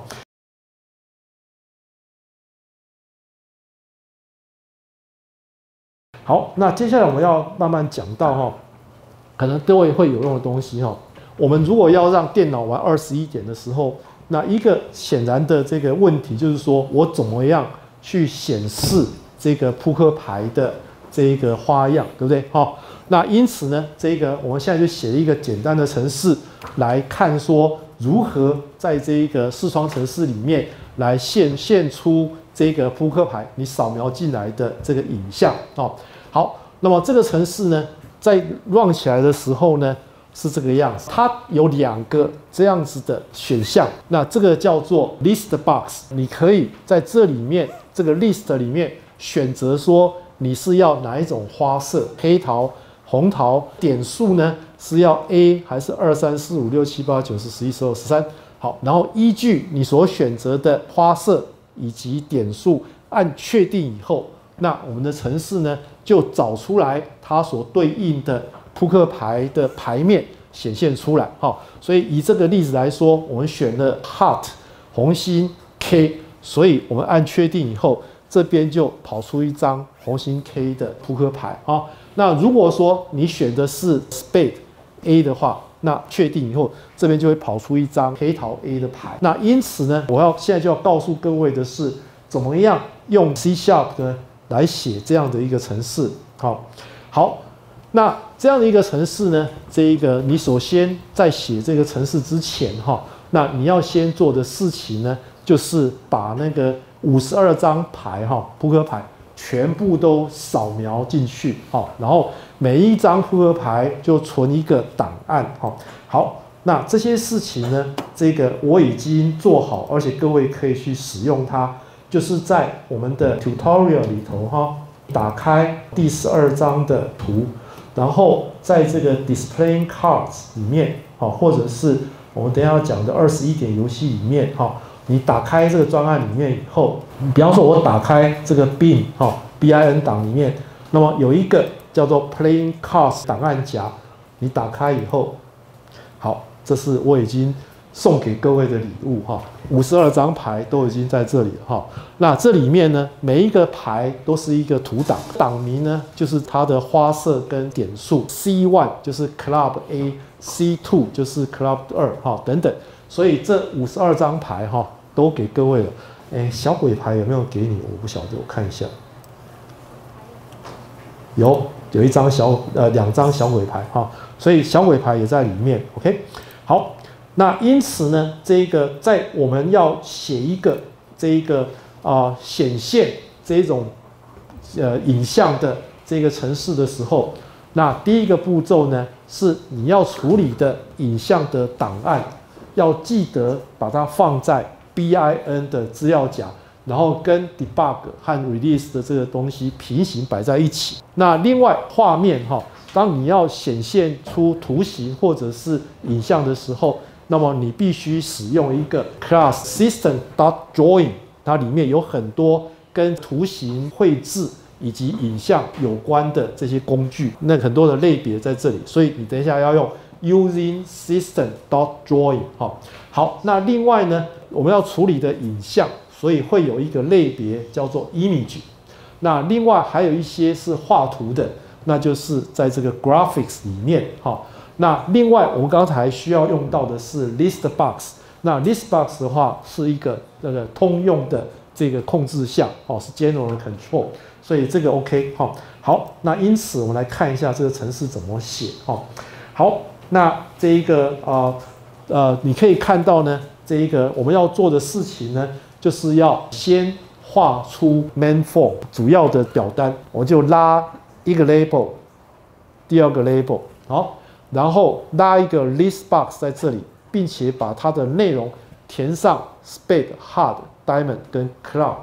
那再使用另外一个 list 的这个 box，那这个 list box 的内容就把它填进去 A 二三四一直到 K 哈，好，然后确定这个样子。好，那再来这个确定呢？按下去以后，啊，那必须要这个在这个主选单里面选出呈现出这一个扑克牌的影像，哦，那所以这一个呃确定这个 button 呢，我们在这一个它的属性那边选择它的 event 事件，啊，然后选择这个 click 以后，那这个系统就会把你带到方旋这边来。那方旋这边来的时候呢，确定键按下以后，它要做什么事？它做两件事情。第一件事情呢，是把一个 started 波林变数呢设定为 true，哈，那就表示说开始要秀这些牌了，哈。那 display image 呢，就是要把对应的扑克牌呢给显示出来，好，那我们把它写成是另外一个方选。那主选单的 class 里面呢，你在这个表单里面。看到有几样东西，一个是 image，那另外一个是能够呈现 image 的所有画图的工具，好，所以你需要有一个 graphics，还有你第一次按确定之前不能让这个东西有作用，所以呢，我们把它 study 的 bool 设定成是 false，好，好，那接着我们再来看哈，那个主程式里面，那要怎么样去这一个 display image，还有。啊，这个其他跟画图有关的功能，凡是你主视窗里头要画图的东西呢，它都会准备一个方选，叫做 on paint，这个是一个重要的一个观念哈。也就是说，这一个 on paint 是什么意思呢？因为你的这一个视窗哈，在这一个你的电脑荧幕上面，它事实上这一个不见得是一直维持在这个地方，维持这个现在这个大小。所以，当你这个把它这个放大、缩小的时候，哈，或者是这个移动的时候，那这个呃很多情形之下，移动好像还比较好啊。放大、缩小的时候呢，这一个系统呢，它就必须要同化这个表单啊。那在以前的这个呃呃 window 的做法里面，它把它叫做 invalidate，也就是说，你你你现在做的这些事情，这个把它拉大以后。那这个你原先城市码对于这样一个呃 main form 的这个描述已经不对了，所以你要重新修改，要重画。好，那因此每一次呢，这一个你的这个视窗大小改变的时候啊，那这个时候呢，这个呃系统会通知你的城市说 on paint 啊，就是说需要重画了啊。那需要重画的时候。我们怎么办呢？呼叫你的副类别，它的 on pen 好，因为 main form 是继承系统的 form，对不对？所以系统的 form 已经可以处理一些 on pen 的事情，所以你要先呼叫副类别的 on pen 好。那如果你没有别的事，那就结束了。可是呢，在这里我还要注意的就是说，这个如果你一开始的时候哈还没有按这个确定的时候，这边不应该。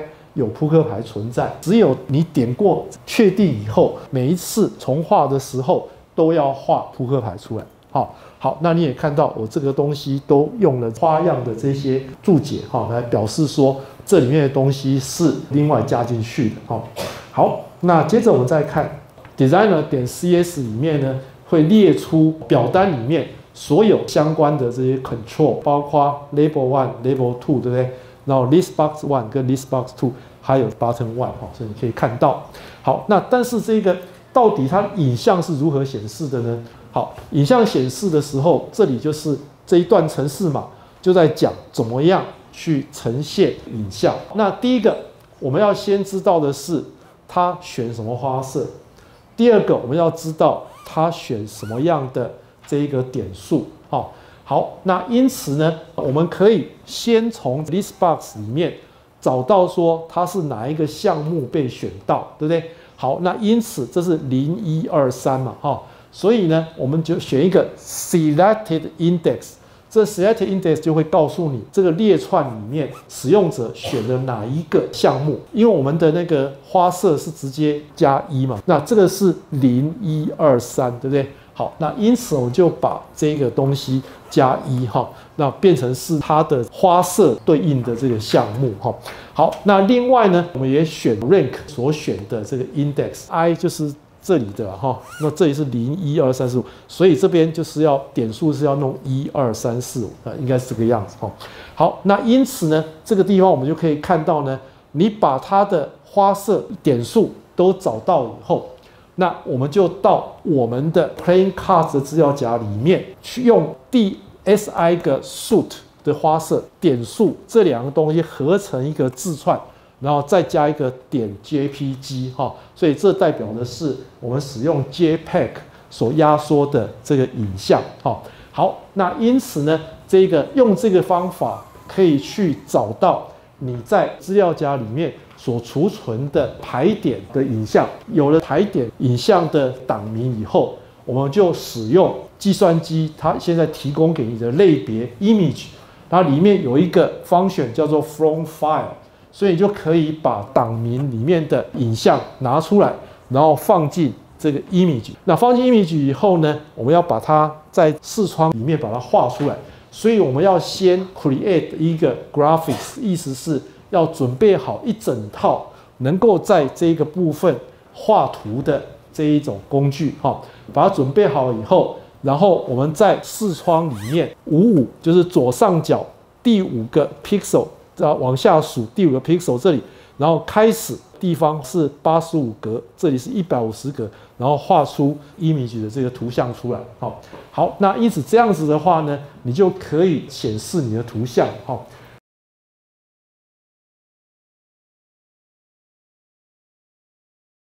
那有了选择这样一个图像以后呢，我们就可以进一步的。来做二十一点游戏的视窗版。记得我们在前面哈已经用了很多函式导向以及物件导向的方式来这个撰写这一个二十一点的这个游戏哈。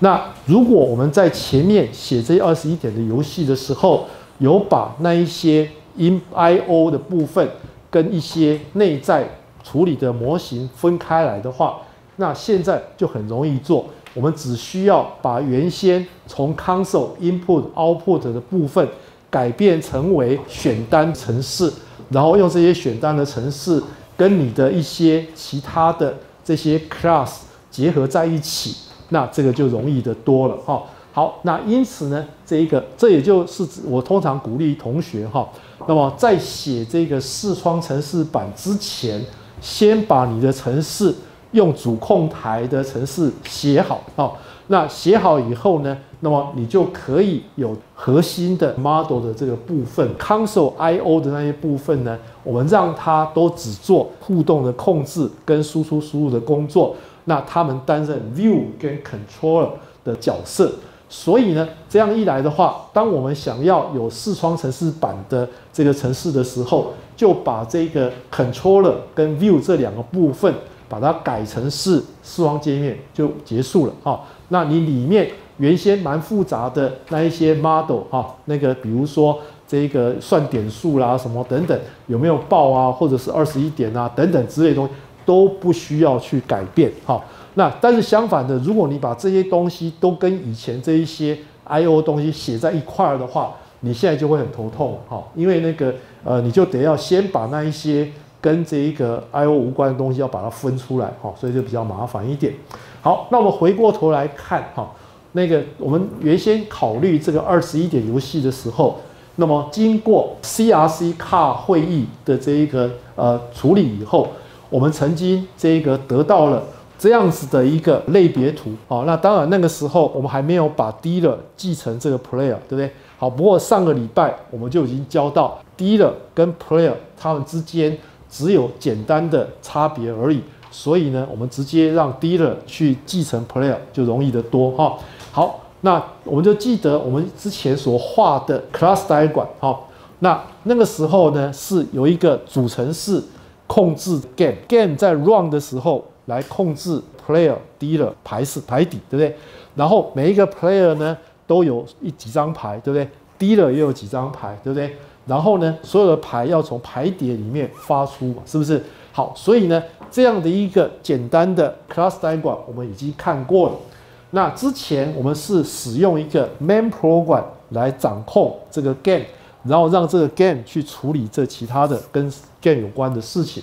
好，那现在我们来使用这个视窗设计的时候呢，那我们就改把那个主程式的部分换成是一个 main form。啊，主表单，那这个表单里面，那你可以去控制执行 game 的结果。那另外，我们也会直接在 main form 里面去呈现各张牌的内容，对不对？好，那因此整个架构呢，我可以把它区分成两块。底下这一块的话，跟界面关系是不大的，大家只要管说谁的牌是几点，什么花色，有没有二十一点等等这些事情，跟你怎么样去。在荧幕上呈现这些内容没有关联啊，那所以这些部分是属于 model 的部分。上面的 main form 的部分呢，那除了它要显现出各张牌的花色点数以外，也要能够呈现游戏状态的文字，处理使用者采取的行动啊等等。所以呢，main form 这一部分是来控制游戏的 view control 了。所以我们现在从 console 界面。要转到这一个呃那个呃视窗界面的时候，那通常我们会说这是一个 GUI 界面，好，那 GUI 是什么意思呢？就是 Graphic User Interface，好，这是常用的一个名词。所以呢，这个当我们要把这个程式码从这一个主控台的这个形式改成是这个视窗的这个界面。那这时候我们要做几件事情。第一件事情呢，是我们要做互动的分析，也就是说，我们的城市嘛，哈，跟使用者之间是有什么样的一个互动的关联，这个部分要先做分析。那么再其次呢，是这个分析结束以后，对于每一种互动，你可能都要去设计一个对应的输入的表单。以及输出的表单，好，要做这样一个设计。好，那因此我们来看一下，第一个，我们看怎么样做互动的分析。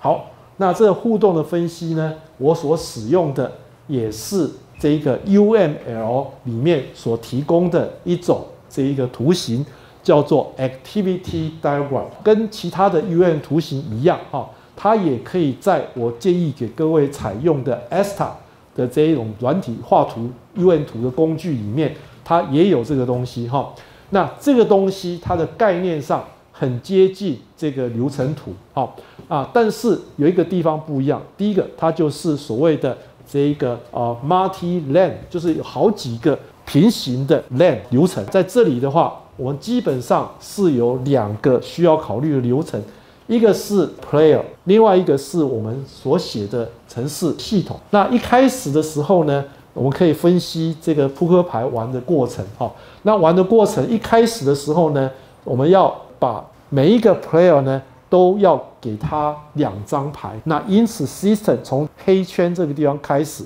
那第一个要做的动作呢是把每一个人给两张牌。给两张牌以后呢？这个控制权呢，就转到 player 这边来。player 这边的时候，他要做什么事情呢？他先要知道，如果他觉得说游戏玩到这边够了，不想再玩下去的话，那他就选择 stop，于是就进到这边来哈，然后 display message 以后就结束了。可是呢，他也有可能呢，他想要继续玩，对不对？继续玩的时候呢，他已经有两张牌了，所以这时候他要做什么事？他要决定他要不要下一张牌，对不对？好，那因此当他确定要下一张牌的时候，我们就转回到系统这边来，把他要的牌呢秀出去，系统就要去检查说有没有哪一个人是二十一点或者是爆掉的这个情况。好，那如果没有的话，就回到这边 user 继续决定他要不要再下一张牌。好，那如果都 display 这个 message 完以后呢，那这个我们可以看到，就是说所有的 player 呢都已经处理完毕了哈，那赢或者输都有。那我们就 display 这个 message 以后结束整个 game。好，那这样的一个概念呢，那下一步我们要做的是什么？是我们要处理的表单哈，要长什么样子，对不对？好，所以我这个地方就设计一个简单的表单。好，那在这里呢，就是显现出 user 所使用的牌，然后这中间我们用 label 哈标签呢来显示庄家跟玩家的点数。可是你可以从这个互动分析里面，你可以知道说系统跟 player 之间有哪一些互动关联呢？第一个当然是开始，对，所以游戏要开始，好。那游戏开始以后发两张牌，两张牌，对不对？所以接下来玩家就有两种可能，就是说他还要一张牌，或者他就停了。所以这是根据 activity diagram，你可以分析出来，在 player 这一边他所要做的动作只有这两种哦，在游戏里面的。那再来就是说游戏已经有结果了哈，那我这个要重新来过，于是我要把牌清掉、清除。哈，好，那因此这样子的一个。就是我们的这个表单的这个设计哈，所以我们用 Active Diagram 分析互动，然后设计你所需要的表单。那这个表单设计完毕以后，我们就可以开始整体的城市设计。我们可以从前面的 Class Diagram，我们可以看到的是系统里面它第一个要做的事情是每一个庄家玩家发两张牌，对不对？所以呢，我们可以把它画成一个 sequence diagram。主选单要求 game 去开始准备一个 play，然后呢，game 它是掌控整个游戏的进行，所以它要求呢 deck 给一张牌，那这一张牌呢就由 player 收下，然后再要求 deck 再发一张牌，dealer 收进去，deck 再发一张牌，然后再让 player 收进去。再发一张牌，低了收进去。接下去，这每个人两张牌以后呢，要怎么样？就要把双方的牌呢，要利用刚才的表单，然后显现出来。那因此呢，看到这里，接下来就是 dump cards，就是让每一个 player dealer 各自把各自的牌秀出来，然后我们要去。检查他们的点数，检查说 player 的点数是多少，dealer 的点数是多少，然后再继续进行游戏胜负的判断。哈，所以我们有一开始这个样。好，那程式执行的时候呢，就会变这个样子。哈，也就是说呢，你按开始以后呢，会出现这边两张牌，这边两张牌，对不对？好，那然后呢，我们就不要再跑，因为我已经二十点了，所以我就停。停以后呢，庄家因为它是十七点。哈。那规定是七点以下的话，就是要再要一张牌，所以这个庄家就加了一张牌四点，结果它合起来只有十九点，哈，那当然就比我的这二十点差一点，哈，所以本人呢完胜电脑，哈，OK，好，所以这个是你可以看到，他就给一个讯息，剑胜庄家，哈，好，那所以这个是系统执行的这个画面，哈，那怎么样把这些东西转成是？这一个城市码，哈，尤其是怎么样转成是这一个呃图形界面的这个城市，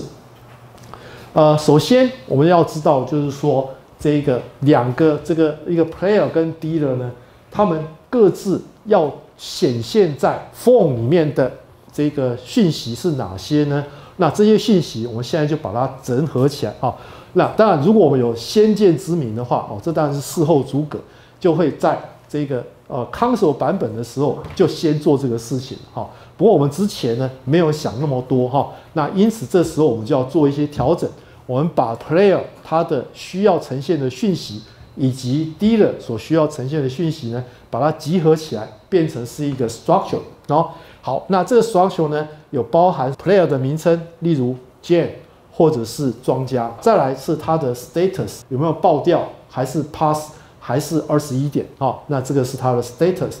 然后它的点数是多少？那么他手上有哪些牌？然后这些牌一共有几张？哦，等等。所以这些讯息有了以后，就足够来画出 main phone 里面 player 的牌或者是庄家的牌啊，这个样子。好，所以我们就预备了这一个 structure。那因此呢，在 main phone 里面哈，那它就得要准备一些内容处理我们刚刚讲的这整个流程。于是呢，你可以看到，根据刚才的说明的话，它必须拥有 get，然后它得要有 player 的 information，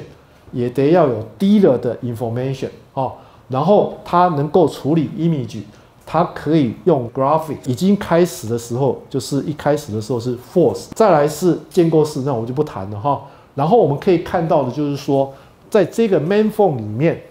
它要跟使用者互动的时候是来自于哪些地方呢？是来自这四个按钮，对不对？由开始、要排、停跟清除四个列按钮。那因此呢，这一个我们就用刚才那个方法哈。选择那个呃按钮的属性，然后给它 event 好来那个激发。那因此呢，这个我们就有 button one click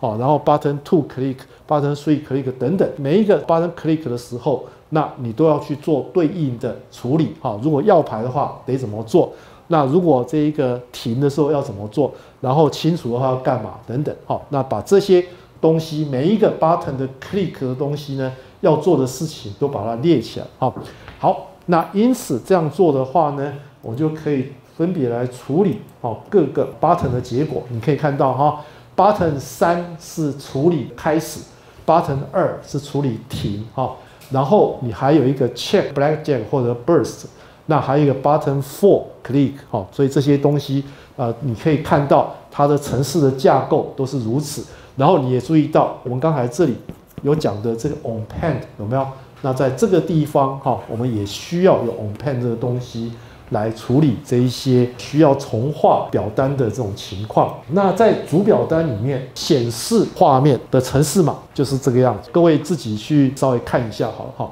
你你已经知道说怎么去显示 image 了嘛，对不对？所以呢，player 的 image 的话是用这个样子。然后它怎么样把它这样子排起来呢？那就是说。它在这个地方呢，这一个往右哈，每间隔一百个这个 pixel 是呈现出另外一个另外一张牌，所以用这个一百乘 i 哈来决定它的第 i 张牌应该放在什么位置。好，所以这个观念就是这样哈，不是太难的事情哈。然后再来，我们就是要把这里呈现的 label 要把它转成是 dealer 的名字，还有 player 的名字。然后还有它的点数啊等等，哈，所以用这些东西把它的 information 呈现出来，好，好，那如果按开始的时候呢，那么就是要求 game 产生一个物件，然后启动 game 的开始的部分，好，game 处理完以后就 show 这个 information，就是把这个图给秀出来，好，秀出来以后呢，这个我们就要去比较说 player 低了。他们二者的状态是如何？最后呢，把 button 三跟四它的 enable 的部分把它调整过来哈。所以有些时候，比方说这一个啊一开始的时候呢，它还不能够决定停，对不对哈？所以它可能只能按要牌啊什么等等，或者说它一开始是不能有清除啊等等哈等等。好，那要牌的时候就是去呼叫 game 里面的 process player turn 哈，也就是说。每一个 turn 的时候，player 要怎么处理，然后 dealer 要怎么处理，哈，就是用这个去决定，好，那处理这个停的时候呢，啊，也是要处理，因为你停了以后，代表玩家的部分结束了，接下来部分呢就变成是 dealer 的部分，我就把 dealer 的 information 传给 game 里面的一个 function，叫做 process dealer run，player 的 run 跟 dealer 的 run 呢都分开执行，最后你可以。根据他们两个的状态去决定说谁比较赢哈，这个可以秀出来哈。好，那这些这个细节哈，那我就不再这个仔细的说明哈。那 on pen 的话就跟前面是一样的哈，你一开始是要呼叫副类别的 on pen，然后再来依据游戏是不是已经开始，然后来决定要不要秀这个 information。好，game 的 class 呢是呃这样写哈，所以这个应该也没有问题哈。好。那再来 games 这样写哈，你可以看到 game class 里面哈，它完全没有关于图形或者是 controller 那些东西，在它这里完全都没有。哈，它在这里面所提供的就是底下这些模型的部分，游戏的进展，在这一部分由这个 game 来控制。那但在这个 game 里面呢，对于这张牌哈，要摆在哪个位置，要呈现什么颜色，然后要有什么样的一个按钮来控制等等这些东西呢，game 都不管哦，因为它是这个 model，好，它带领的这一些 class 都是 model，所以在这些里面，你不应该有这一个处理这些图形的这种东西在里头，所有有关于图形跟控制的东西。都应该放在这个呃 main form 里面，好，好，那所以你可以看到 player、dealer、Deck、Car 这四个 class 跟我们在上一周哦，这前一周所讲的二十一点游戏 console 版本呢完全一样，所以呢这几个 class 完全不必改变，哈，完全不必改变，那只有 game 改一点点，好，为了配合这边的一些修改，好，那所以整个。如果我们在这一个呃 console 版本的时候，我发展的这些 class，你现在就可以发现，在这一个视窗版本里面呢，它完全可以直接套用，哦，就不必要再重新去这一个处理这些呃 class，那这个就简化了很多这一个程式处理的这个困难，哈。好，那在这里 dealer 的这一部分哈，我们也提到过哈，就是是不是要再要一张牌这个部分哈。那这里的部分呢，one one more card 这里哈，console 版本所留下来的这一部分，那在我们现在这里的时候，这个方选，这个方选其实是已经被这个呃 main phone 里面的这个药牌的那个按钮给取代掉了哈。那因此这个东西呢，这个其实等于已经没有什么用了哈啊，但是我们把它留着也没关系，为什么呢？因为这一个啊不会被用到，对不对？哈，不会用到。但是呢，这个当我们要考虑低了的时候，它的 dealer 呢是继承自这个 player，所以 dealer 继承这个 player 的话，它就需要处理那个 one one more card 这个事情。那因此，这一个对 dealer 来说的话，one more card 方选呢，它要去 overwrite 那个东西。那所以它这里就是说，只要它的点数哈小于十七的话。它就必须在要牌，哈，所以这个是 dealer 这个情形。Game 的这个起始动作，哈，就参考右边的这一个顺序图，哈，所以这个就 OK，哈。然后这是一个 Process Run 的程式，哈，好，那这个部分，哈，就大概就说到这个地方，哈。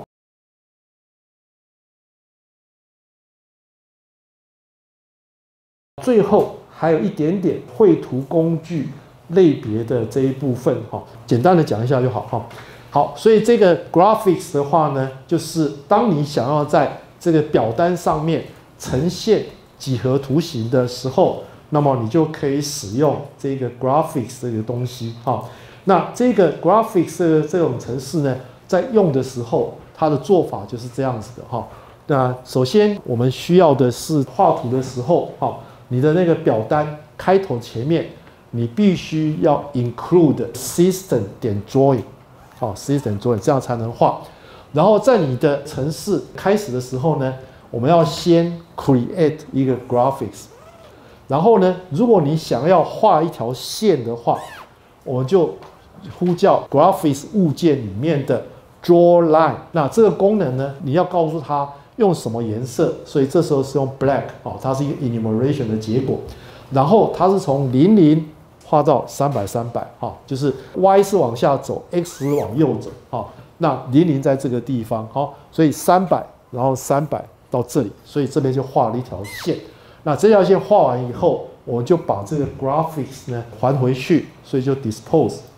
好，那所以呢，呃，这个就看起来简单，哈，就是你在这个 main form 里面，你去要求它画图的时候，因为每次按一个按钮以后。他就来到 draw 的这个地方来画一条线。接下来，我们就把那个上个礼拜我们所讲的画圆画方的问题呢，把它转成视窗程式的 GUI 版。哈，那这样子的话呢，就可以完整的这个呈现出这个 draw all shapes 的这个功能。哈，好，那这个是我们前次提到过的，如果没有使用多行的话，程式呢会违反 open close principle，也就是说，它没有办法对于新加的 class open，对于已经加的内容 close 造成问题。然后呢，program 里面呢，你会有很多的需要画的东西，所以当你要增加新的元件的时候，那你就需要增加很多的 draw，还有在 draw shapes 里面呢。你要去修改，用一个 switch 来设定，在各种不同的这一个类别的子类别的时候，要怎么画这个图，对不对？好，那我们提到过的这一个使用多形的方法呢，是用 join all shape 的方法，让每一个 subclass 都继承父类别，然后呢，在这个 program 里面呢，用一个一个方选就够了，可以把所有子类别的内容呢都画出来。哦，只要你每一个 circuit 都去 override 一个方选叫做 draw。好，那我们现在用这一个呃 MVC 的架构来做这样一个事情。好，那你可以看到呢，我们的 program 原先的 program 在这里，对不对？我们有一个 main form 来控制说你是要画 circle 还是 rectangle，然后这里有一个 shape。好，那这边是 model，这边是 view 跟 control。draw 这一边跟 VC 这边有一点关系，什么地方呢？就是 draw 做这个地方的话呢，你要给它积这个 graphics，它才会画这个图。这里的 draw 呢是要用到 graphics 物件哈，所以稍微有一点点不太合这 MVC 的概念。所以画圆或者画方呢，只要按钮一按以后，它就开始画圆或者画方哈。好，那因此呢，这个所有的城市码哈，其他城市码跟我们前面的这一个都是一样的哈。差别在于说，draw all shapes 的时候，原来只需要 list，现在要多一个，给它一个积过去，哈。为什么？因为 graphic 这个东西呢，我们希望是在 main form 里面，哈，来让它产生，然后让它结束。所以它拿去哪里用，哈，那就只要到哪里用去用就可以了。那我们就不用管它。但这个部分的话，就比较符合这个 model 的概念。draw all shapes 的时候，你可以看 for loop。就完全符合上礼拜所讲的这种多形的这种架构哈，那只是差别在于说，我们现在要给它一个 graphic，让它去真的画出来。那因此呢，所有其他的东西哈，都把它这个建构起来以后，那么这些大部分的内容哈，都跟这一个上礼拜所讲的这个多形的情况是一样的。那唯一的差别就是多了一个 graphics。积进来，哈，让它可以真的在这个视窗里面去画图形出来。可是也只有需要一个参数，这个机传过来，其他画的东西几乎都可以不用管，哈。所以你只要知道说 graphics 里面是怎么样去画圆，怎么样去画方就可以，哈。那在这一个 graphics 里面呢，画方跟画圆是各自有它的方法，哈。所以呢，我们在 rectangle 里面就呼叫机里面画方的方法。那么在 circle 的话呢，就呼叫机里面画 arc 的方法。arc 是弧嘛，对不对？那我们现在这个弧呢，它要求你是从零度画到三百六十度。这里呢，表示的是圆形呢，它的外接的正方形哈，左上角的位置，然后是右下角的位置，还有这两者之间的。这个距啊，这个长度哈，这样子，所以呢，用这种方式，你就可以容易画出这个圆或者是圆弧出来哈。好，那我们今天就讲到这个地方。我们已经介绍了 Windows Phone，还有呢，Windows 里面还有包括 Windows 本身，Phone 它本身呢，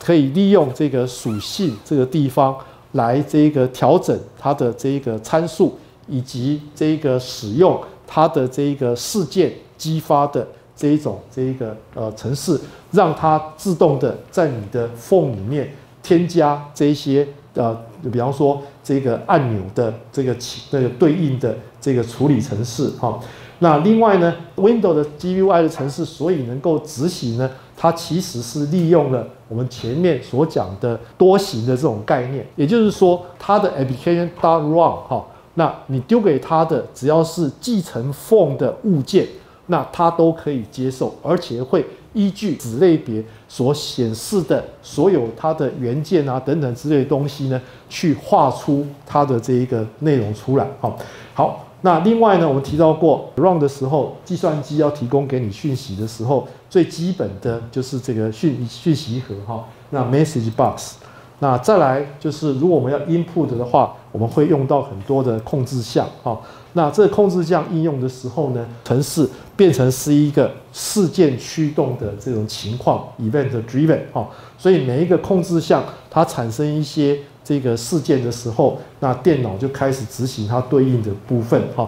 那再来，我们提到过，我们可以使用 dialogue 的表单输入比较完整的资料。那另外，我们也提到。在整个架构里面，那最好 model view 还有 controller 这种 MVC 的架构能够分开的清楚，那对于我们的城市修改会有很大的帮助。那接着我也提到了表单里面，那么你要呈现影像或者是画图的话，你得要使用类别 graphics 还有 image。好，好，最后就是当我们要设计 GUI 城市的时候。那我们常常需要先使用 Active Diagram 来分析电脑跟使用者互动的关联。OK，好，那我们今天就上到这个地方。